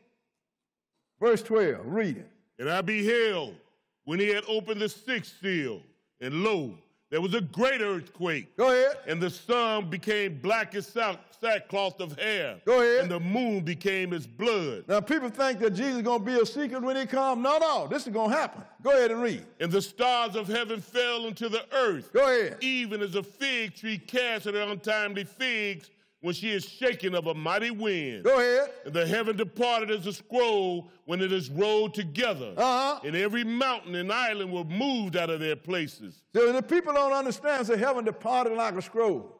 You got three heavens, sister and brother. We own one now. The third heaven is from an inch off the ground until the edge of some water on the other side of the moon, stars, and the planets. So that heaven roll back like a scroll, a big body of water gonna roll back, sisters and brothers. Then you're gonna be able to see the Lord. Everybody is. As people say, well, I can't see that for the book says you're gonna see him. So I'm rolling with the book. And I'm gonna show you that they're gonna see him. Go ahead and read. Verse 15. And the kings of the earth, and the great men, and the rich men, and the chief captains, and the mighty men, and every bondman, and every free man hid themselves in the dens and in the rocks of the mountains. Go ahead. And said to the mountains and rocks, Fall on us, and hide us from the face of him that sitteth on the throne, and from the wrath of the Lamb. For the great day of his wrath is come, and who shall be able to stand? Then I tell you that they're gonna be able to see him. Isn't that correct? Otherwise, they wouldn't be saying, running, for, calling from the rocks in the mountain to fall on them and hide them from the wrath of the Lamb. You ain't never heard that in your church. Jesus love everybody. so where does wrath come from? Out of the book. Right. Hide us from the wrath of the Lamb. So now, how many plagues he done brought on them? Three. But now, the next plague he gonna bring And he is going to orchestrate every one of them like he did with Moses. Let's go into Revelation, the seventh chapter, and see what happened now. Because three plagues that come on the whole earth war, famine, and nothing but death and destruction. But the Lord rolled back. Now he's getting ready to come. But let's see what he's going to do before he comes. Revelation 7 and 1. Go ahead and read. And after these things, I saw four angels standing on the four corners of the earth. Go ahead. Holding the four winds of the earth, that the wind should not blow on the earth, nor on the sea, nor on any tree. Go ahead. And I saw another angel ascending from the east, having the seal of the living God. And he cried with a loud voice to the four angels, to whom it was given to hurt the earth and the sea. Go ahead. Saying, Hurt not the earth, neither the sea, nor the trees, till we have sealed the servants of our God in their foreheads. Now, this is the separation here. Just like the Lord separated Israel and Egypt from the rest of the Egyptian, God is going to separate Israel from the rest of the world. Especially them that's in that area, the fourth part that he is in, he's going to seal them. Because he said, You done gone through the trouble, now I'm going to fix it so you ain't going to suffer nothing else. Go ahead and read. And I heard the number of them which was sealed, and there was sealed a hundred and forty and four thousand of all the tribes of the children of Israel. Now, people say that's, that's all going to be saved. No, sisters and brothers. These are people that are in that area, that fourth part of the earth. He have affected the whole earth, but if you was there, you was in trouble. So he sealed 144,000 of Israel that got caught up in it. Skip down to verse 9 and read that. After this, I beheld, and lo, a great multitude, which no man could number, of all nations and kindreds, and peoples and tongues, stood before the throne and before the Lamb, clothed with white robes and palms in their hands. Now, a number that no man could number, he sealed them too, along with the 144,000. People always talk about the 144,000, but they never mention these people. So, who are these people? Skip down to verse 13. Verse 13, and go ahead. And one of the elders answered, saying unto me, What are these which are arrayed in white robes? Uh-huh. And whence came they? Go ahead. And I said unto him, Sir, thou knowest. And he said to me, These are they which came out of great tribulation. These are they that came out of great tribulation. They survived it because That's there's right. going to be a time that you ain't never seen before. These are they that survived great tribulation. Go ahead and read. and they have washed their robes and made them white in the blood of the Lamb. This tell me this. These people was converted during the great tribulation. That's right. These people didn't believe until the Lord brought pressure upon them and destruction upon them by the hand of the one they think that, that they think is the holiest man on the planet. Go ahead and read. Therefore are they before the throne of God and serve him day and night in his temple. Go ahead. And he that sitteth on the throne shall dwell among them. Now, people think that, well, they must be in the first resurrection. No, they are not in the first resurrection. And the throne of God, the throne of Jesus, is going to be on this earth because he's going to sit on David's throne. They're not going to be going to heaven. That means that they just survive and they're going to be around Jesus like the rest of the world going to be. But go ahead and read. They shall hunger no more, They shall hunger no more. neither thirst anymore. Uh-huh. Neither shall the sun light on them, nor any heat. Now you can find these same people told uh, Isaiah in Isaiah 49 and 10. They tell you about the same people. You can go on your own time and read it. These are flesh and blood people, Israelites and other people that the Lord sealed because they turned to him during this great tribulation. Go ahead and read. For the Lamb which is in the midst of the throne shall feed them, Uh-huh. and shall lead them unto living fountains of waters. Go ahead. And God shall wipe away all tears from their eyes. Now, these people was converted, but the reason they're not immortal because he said he's going to lead them unto living waters. If they was immortal, he don't have to lead them to living waters. They would be immortal already and live forever. So now, but these people God sealed, sisters and brothers. He sealed, and the last seven last plagues are not going to fall on them. Let's go into Revelations the seventh chapter, Eight chapter. eight, uh, eighth chapter, Revelation, eight chapter, and we're going to start reading at verse 1. Revelation 8 and 1. Okay, go ahead. And when he had opened the seventh seal, there was silence in heaven about the space of a half an hour. Go ahead. And I saw the seven angels which stood before God, and to them were given seven trumpets. Why seven angels? Why seven trumpets? Because he's going to bring ten, and just like it was in Egypt, when he separated Israel, then he brought seven plagues upon the rest of Egypt. So he, they stood there with seven uh, uh, uh, trumpets. Now these trumpets don't do the harm. These trumpets announces the harm that's going to come on this earth. Skip down to verse 6 and read it. And the seven angels which had the seven trumpets prepared themselves to sound. And they got ready to sound. And every one of these trumpets, when they sound, sisters and brothers, the Lord is going to hurt this earth. So they prepared themselves to sound. And these trumpets, like I said, they announces the destruction that's going to come on this earth. Go to Revelation 15 chapter. Because the Lord, when he blow one of these trumpets, something is going to happen on this earth. And ain't nobody ready for this. And everybody's going to be here. Ain't nobody going to, will, nobody will have gone anywhere. They're going to all be here. Even the people in the first resurrection. That's going to be in the first resurrection. They will all be here. Because the first resurrection can't start until Jesus started his descent. That let me know these people that were sealed too could not be raised or changed until the Lord started his descent. 15 and 1, read it. And I saw another sign in heaven, Uh-huh. great and marvelous, seven angels having the seven last plagues, for in them is filled up the wrath of God. Now, one, one of those plagues that, that the Lord brought on Egypt, there was his wrath, wasn't it? Yes, sir. Seven. After he had separated Israel, he had seven more that he poured out on Egypt. So these guys had uh, uh, seven vials of wrath. Skip down to verse 6 and go ahead. And the seven angels came out of the temple, having the seven plagues, clothed in pure and white linen, and having their breasts girded with golden girdles. Go ahead. And one of the four beasts gave unto the seven angels seven golden vials full of the wrath of God, who liveth forever and ever. See now, so the Lord is going to do the same thing to the earth, sisters and brothers, that Moses did to Egypt. The exact same thing.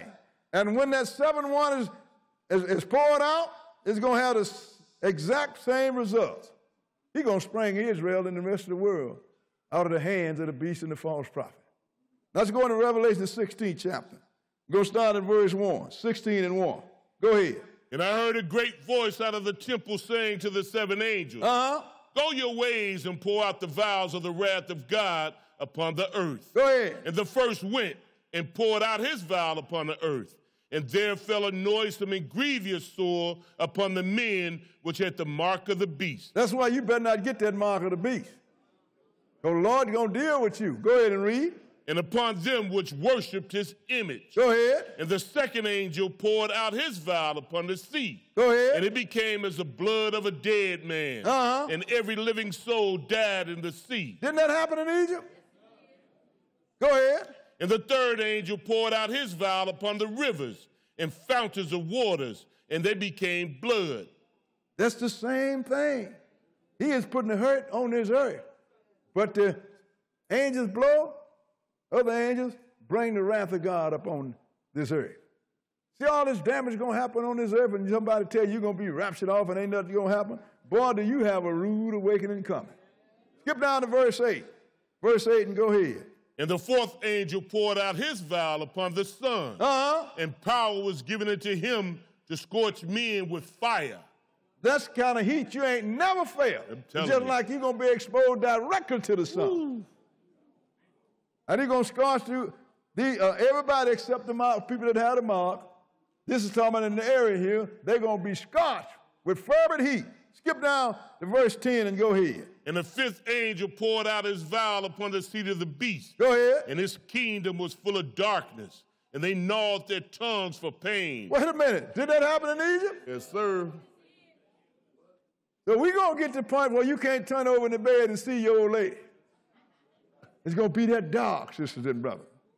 Except for us, we're going to be in the wilderness. Skip down to verse 12. See, because we, we know what, how the story going to end. That's right. We can do a little inside trade. That's right. Verse 12, and go ahead. And the sixth angel poured out his vial upon the great river Euphrates, Uh-huh. and the water thereof was dried up, Go ahead. that the way of the kings of the east might be prepared. Don't you know that is what this, you, this, this, this war in Ukraine is all about? Because the Ukraine is east of Turkey.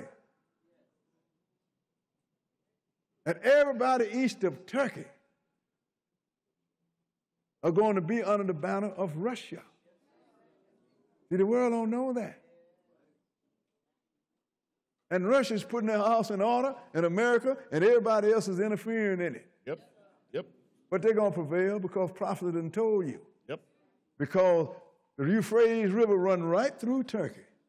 Everybody, the other lesson we'll show you that everybody's on the other side of Euphrates Turkey, uh, uh, River, which is Turkey, which is uh, run through Turkey. They belong to the Russians.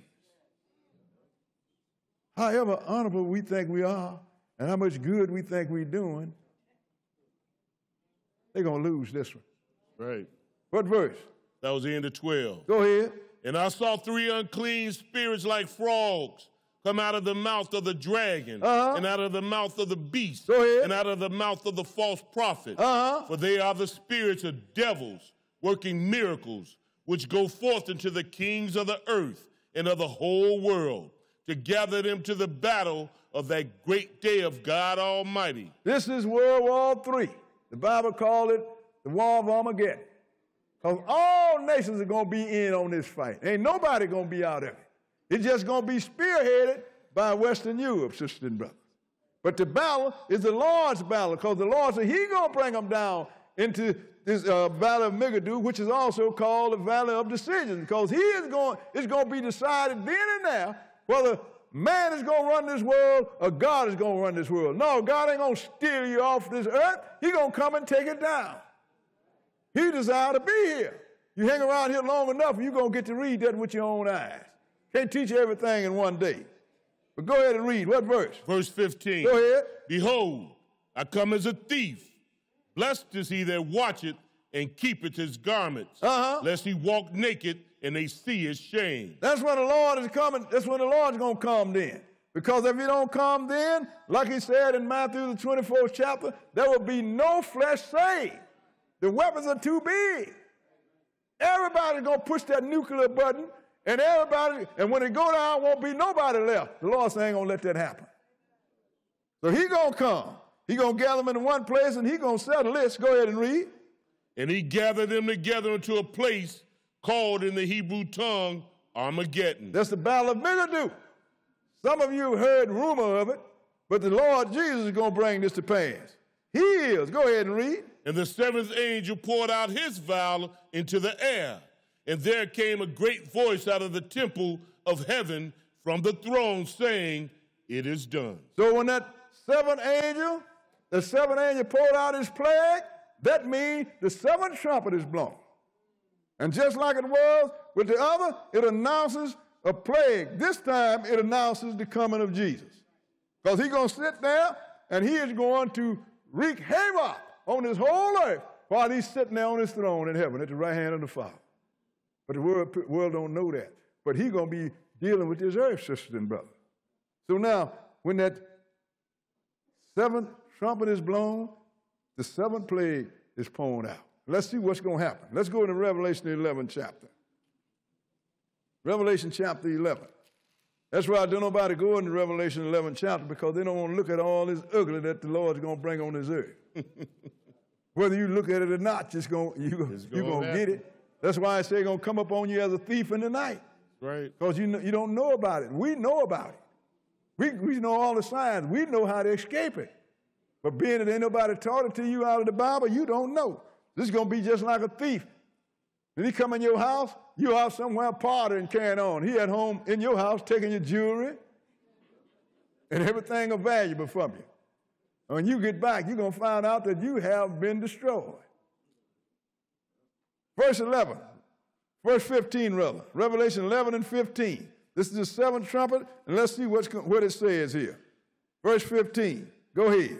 And the seventh angel sounded, and there were great voices in heaven saying, Uh huh. The kingdoms of this world are become the kingdoms of our Lord and of his Christ, and he shall reign forever and ever. Now, that's when the Lord is going to take down the earth just like Moses took down Egypt, sister and brother. Seven plagues. The first three was on the whole world. Then he separated his servant. Then he brought the seventh. Just like it was then. Just like Moses, uh, uh, after that seventh uh, uh plague, the, the firstborn died, Israel was sprung, sisters and brothers. When that seventh trumpet is blown, that's when the Lord is going to be come take down his earth, and he is going to do like Moses. He's going to start to deliver his people and take over this earth. Said in Zechariah the ninth chapter, his his dominion is going to be from sea to sea, from the river, that's the river Jordan, even to the end of the earth. But nobody teaches this kind of stuff, sisters and brothers. Now let's go and show you that when Moses went back to Egypt, he sprung Israel. Now let's see when Jesus is going to spring us and the rest of the world. Let's go into Luke, the 21st chapter. Luke chapter 21. I mean, all you got to do is see what happened with Moses, then you're going to know what, what the world is going to do. And you know who, what's going to happen to the world, and you're going to know who it is that's going to make it happen to the world. 21, we're going to start in verse 20. 21 and 20. Because the Lord started when Israel was taken out, and He's going to show you that, this, that uh, uh, uh, and take it down to when He come and spring Israel. 21 and 20. Read it. When you shall see Jerusalem compassed with armies, then know that the desolation thereof is nigh. See, this is see people get this con- confused with 70 AD. But he is starting back at 70 AD because the Romans had surrounded all of Israel, all Jerusalem, and they had built a bank of levee around them so couldn't nobody get in and couldn't nobody get out. When somebody tried to come in, they catch them, they, they caught them and they hung them. When somebody tried to get out, they caught them and they hung them. History books will tell you that the Romans in 70 AD was crucifying 500 Israelites a day. And you only know about Jesus and the two thieves. Then you walk around with a cross on your neck, represent Jesus. No, it don't. It represent a Roman death symbol. They was crucifying people before Jesus, and they crucified people after Jesus. And history will tell you, when you're crucifying $500 a day, uh, 500 people a day, that's a whole lot of people, ain't it? So now, 7 AD, fulfill this 28, this 20th chapter. Skip down to verse 24 and go ahead. And they shall fall by the edge of the sword, Uh-huh. and shall be led away captive into all nations. Go ahead. And Jerusalem shall be trodden down of the Gentiles, until the time of the Gentiles be fulfilled. That's why we scattered in all nations right now. The northern kingdom, which is nine tribes, was scattered by the Assyrians. We were scattered by the Babylonians, and then we served the Medo-Persian, then we served the Greeks, and we served the Romans, and in 70 AD, the Roman general Titus scattered, destroyed Jerusalem and scattered us to all over the Mediterranean, and they finally got here. Go ahead and read. And there shall be signs in the sun, Uh-huh. and in the moon, and in the stars, and upon the earth distress of nations, with perplexity, the sea and the waves roaring. Now, this took us down to the coming of the Lord. You understand? Because he said in the 24th chapter, we're going to be in captivity until the times of the Gentiles be fulfilled. Who are the Gentiles? The children of Japheth. Who are the children of Japheth? Europeans or the white folks. Who is running this world right now? They're running Africa too, running everywhere. You know why? Because it is the times of the Gentiles. But then, at the time of the Gentiles, when it's over with, then you're going to see it. Read that 24th verse to the entirety. 24. Yes, go back to 24 and read it to the entirety. Go ahead and read. And they shall fall by the edge of the sword. And Israel swear, fell by the edge of the sword in 7 AD. Go ahead. And shall be led away captive into all nations. And were led captives into all nations. Don't you know you're the only one in this whole hemisphere that was brought here against your will as slave? Nobody else. Go ahead and read. And Jerusalem shall be trodden down of the Gentiles Uh-huh. until the time of the Gentiles be fulfilled. So everybody gonna run Jerusalem. Sure, we got Edomites over there, but who put them over there? The Gentiles did, sister and brother. Don't y'all know that? And then you got a lot of them that are not Edomites. They're converted Jews or Gentiles over there. But the last one that's gonna run it is Europe, Western Europe, and the Pope, pure Gentile. And we're going to be in captivity until the Lord give them their time to rule. And when they get him to, and when their time is up, it is up. Because God gave every one of Noah's son a chance to run this earth. All of them dropped the ball. The children of Ham dropped it, the children of Shem dropped it, and now the children of Japheth, which is a Gentile, they dropped it too. Now we go into verse 25. Go ahead. And once that's over with, we already read this in Revelation. What's going to happen? Go ahead and read. And there should be signs of the sun Didn't it say the sun going to turn black? Go ahead. and in the moon. Didn't it say that the moon going to turn red? Right. Go ahead. And in the stars. And the stars are going to fall from heaven. Go ahead and read. And, upon- and upon the earth distress of nations Go ahead. with perplexity. Uh-huh. The sea and the waves roaring. Uh-huh. Men's hearts failing them for fear. They're going to have a whole lot of heart attacks going on at that time.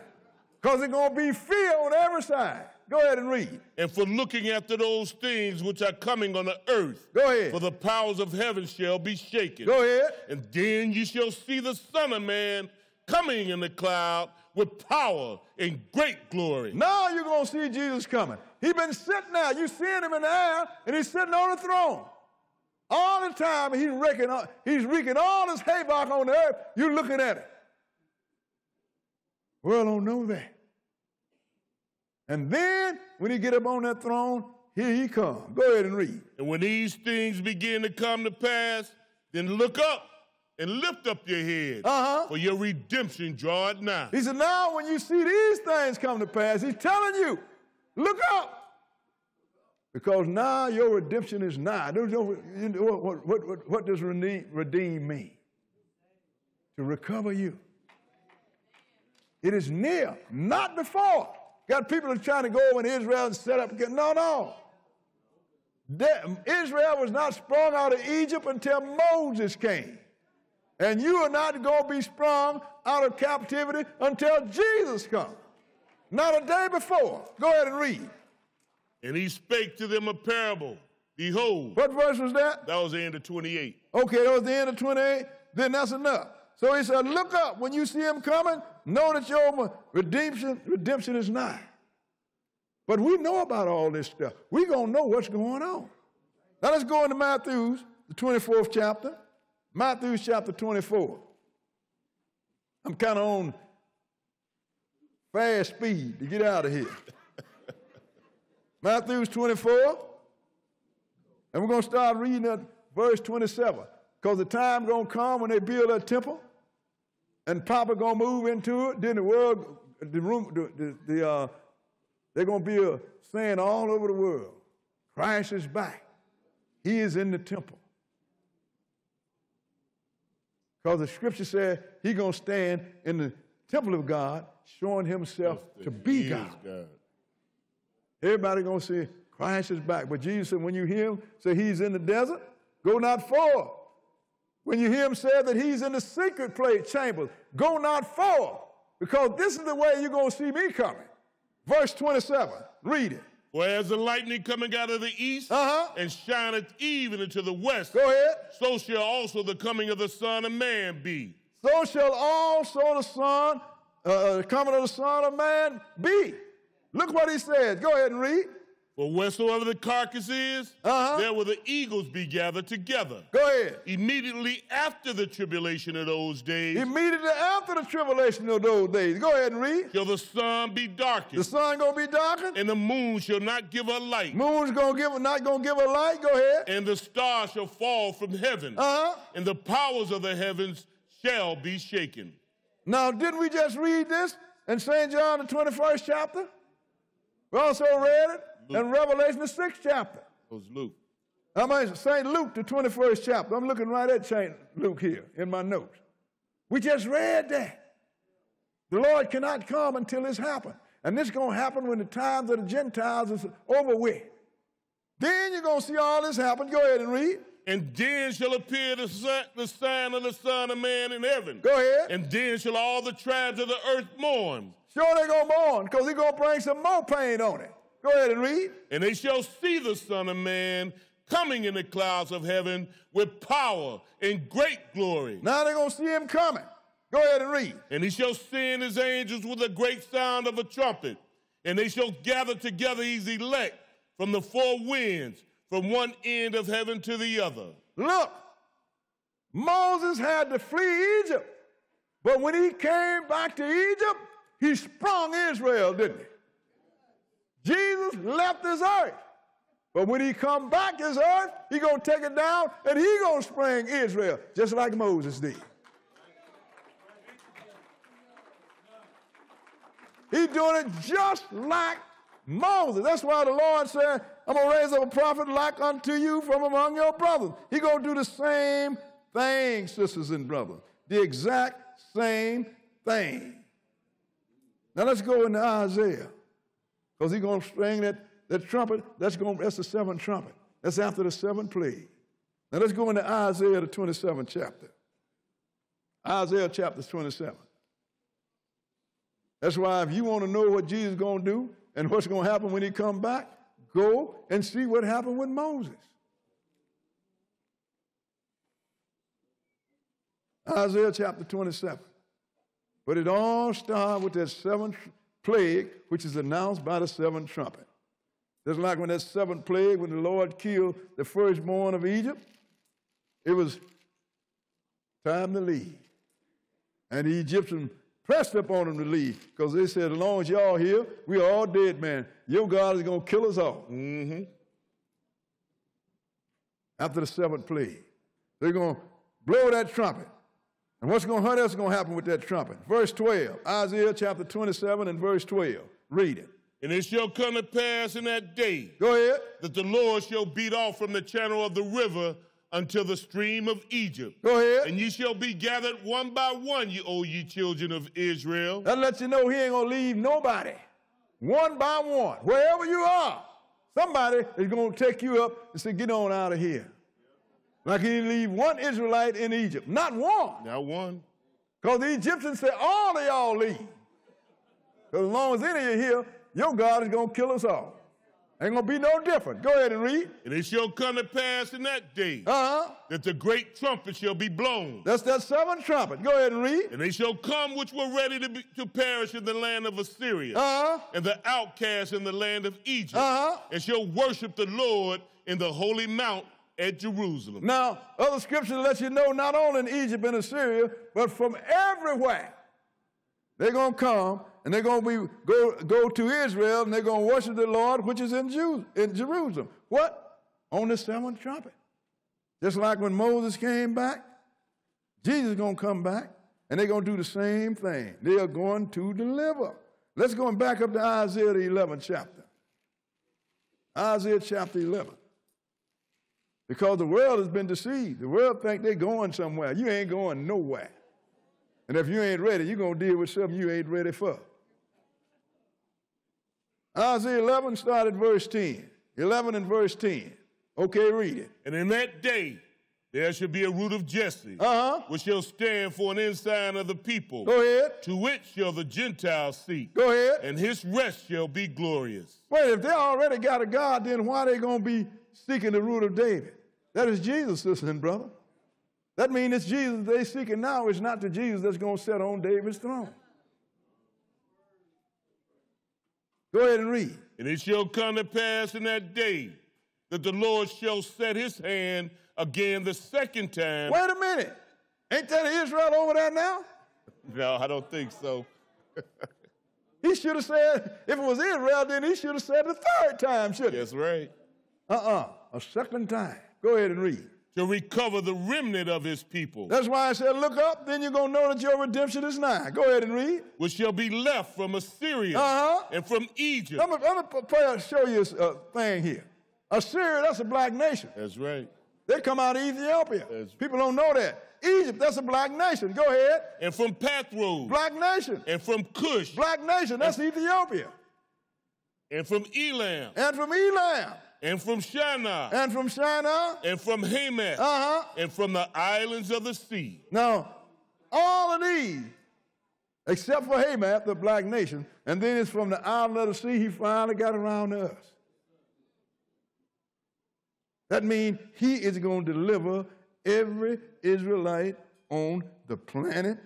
Go ahead and read. And he shall set up an ensign for the nations, and shall assemble the outcasts of Israel, and gather together the dispersed of Judah from the four corners of the earth. He's going to set an ensign. That means the people going to start bringing you. We taking you to Israel. Ain't no Israelite. Ain't no Jew. That's all right. Come on anyway.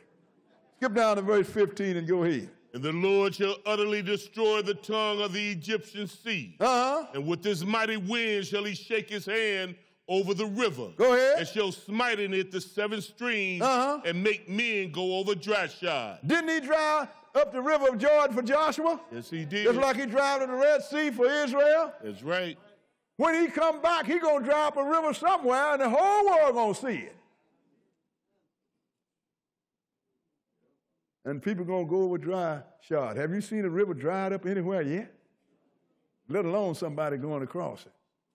The Lord letting you know what He's gonna do. It's very. Why did He do that? Because He did in the days of Moses. Right. Go ahead and read. And there shall be a highway for the remnant of his people, uh-huh. which shall be left from Assyria, uh-huh. like as it was to Israel in the day that he came up out of the land of Egypt. So just people just like in Assyria and other places, it's going to be just like it was in the days of Egypt. Ain't going to be no different. And Jesus is the one that's going to call this sister and brother. He is the one going to cause it. Is he going to take them? So when the, the Lord took Israel out of Egypt, did he take them directly to the land? No. Uh-uh. He took them to the wilderness. Right. Let me show you where he's going to take you here. Then we got three more places after this, and I'll let you out of here. Let's go into Ezekiel, the 20th chapter. And we're going to start at verse 34. I used to wonder why did the Lord say that He's going to rule over you with a mighty hand and with fury poured out?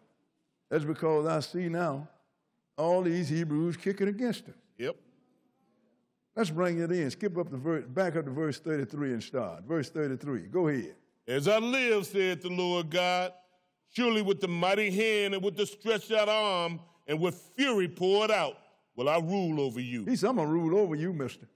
You understand? This Hebrew don't want him, ain't never want the Lord to rule over. He said, with fury poured out, I'm going to rule over you. Go ahead and read. And I will bring you out from the people. Uh-huh. And will gather you out of the countries wherein ye are scattered. Uh-huh. With the mighty hand and with, and with the stretched out arm and with fury poured out. We done seen that happen. That's right. Because he done destroyed this earth. Go ahead and read. And I will bring you into the wilderness of the people. Uh-huh. And there will I plead with you face to face. Like as now, I... now, he took Israel. Didn't Moses take Israel in the wilderness? Sir. He gonna take us in the same wilderness, and he said he gonna plead with us face to face. Moses played with Israel face to face. Jesus gonna be on this earth, plead with Israel face to face. You gonna look at it. Go ahead and read. Like as I pleaded with your fathers in the wilderness of the land of Egypt. Uh-huh. So will I plead with you, said the Lord God. You notice that there's nothing different? No. Go ahead and read. And I will cause you to pass under the rod. Go ahead. And I will bring you into the bond of the covenant. Go ahead. And I will purge out from among you the rebels and them that transgress against me. Uh-huh. And I will bring them forth out of the country where they sojourn. Now look what he said. He's gonna cause you to pass under the rod He's going to whoop your head, and he's going to bring you into the bond of the covenant. Don't you know how you come into the bond of the covenant? By getting baptized in Jesus' name. And I got some of my Hebrew brothers ain't going there. Hmm. And if he don't go there, he's going to be just like his father, our father. He's going to purge out from among you the rebels. That's the people that, rebel, that rebelled against Jesus. And he going and, and go ahead and finish that. And they shall not enter into the land of Israel, and ye shall know that I am the Lord. You're going to be brought from all over the world, eat against your will, if you don't come willingly. I mean, wherever you are, you're in Europe, Eastern Western Europe, Central and South America, here in the Americas, period, in Africa, wherever you are, the Lord going to recover every one of you and bring you into the wilderness. You're going to come that far and go stupid and call Jesus JC and Zeus and die there.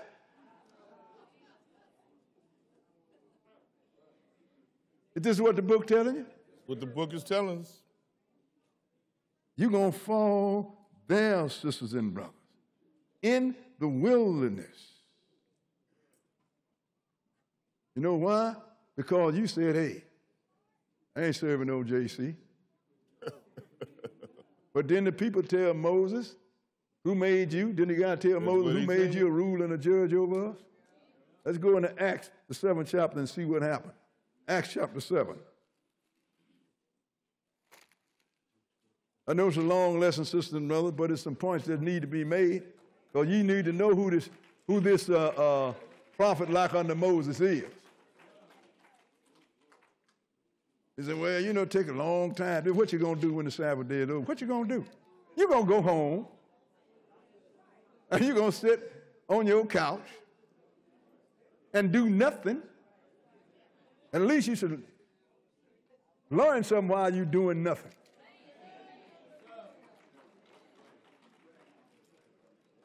Acts chapter 7. You recall, Brother Buie, there's a long lesson today. You call on the phone. Yeah, man, what you doing? Oh, I'm sitting on the couch.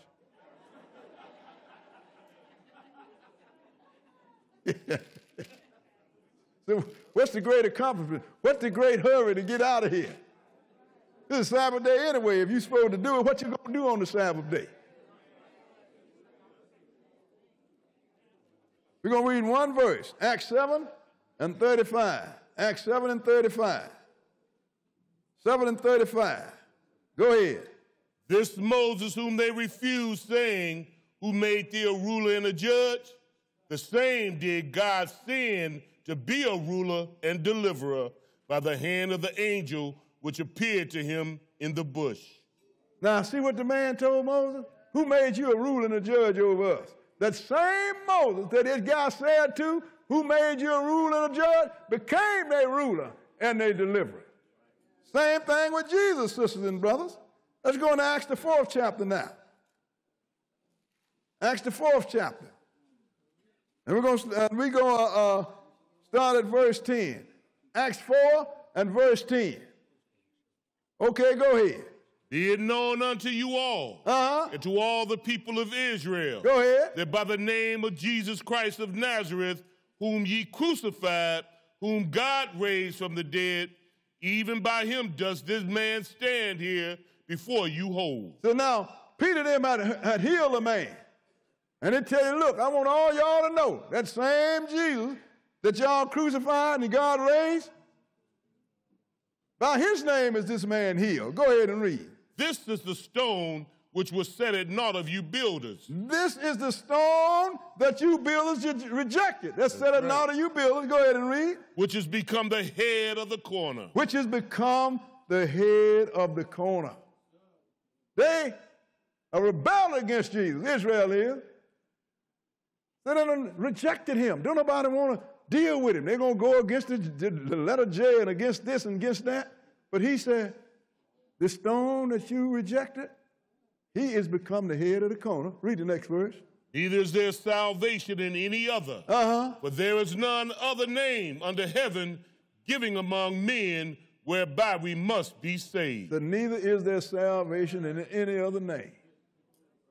Jesus is the only name given under heaven whereby men might be saved. But if you see the same thing, who saved the people in Egypt? Moses did. God was going to kill all of all Israel, and Moses talked him out of it. God had Moses to direct the assault on Israel, uh, on Egypt, brother. God had Moses to stretch out his staff across the Red Sea and separate it so Israel can go out of bondage into freedom. And God would listen to nobody but Moses. That's why in 1 Corinthians, the 10th chapter, it tell you when Israel come through the Red Sea, they was baptized unto Moses. That was the only man and the only name given unto the Son at that time whereby Must Israel saved. might be saved. That's right. Moses. Finish this. What verse were we? That was the end of uh, 12. So now, that's why when Moses, whatever Moses did to deliver his people, whoever do the same had to be like Moses. Let's go to the last place. Let's go in back up to Acts the third chapter. Acts the third chapter, and we're going to start at verse 19, 3 and 19. Okay, go ahead.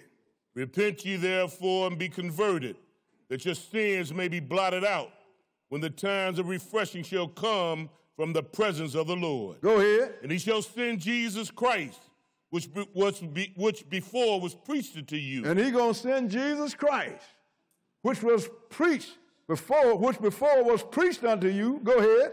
whom the heaven must receive until the times of restitution of all things, Whom the heaven must receive until the time of restoration, when everything gonna be restored. Go ahead and read. which God has spoken by the mouth of all his holy prophets since the world began. Since the world began, who started first? Go ahead. For Moses truly said unto the fathers, A prophet shall the Lord your God raise up unto you of your brethren like unto me. Uh huh. Him shall ye hear in all things whatsoever he shall say unto you. Now we know that prophet that the Lord was talking to Moses, talking uh, about was Jesus. He told Moses about. Verse 23, go ahead and read. And it shall come to pass that every soul which will not hear that prophet shall be destroyed from among the people. Because this prophet is Jesus, and the only name given under heaven whereby men might be saved is Jesus. Who is Jesus? The prophet like unto Moses. I thank you for suffering with me.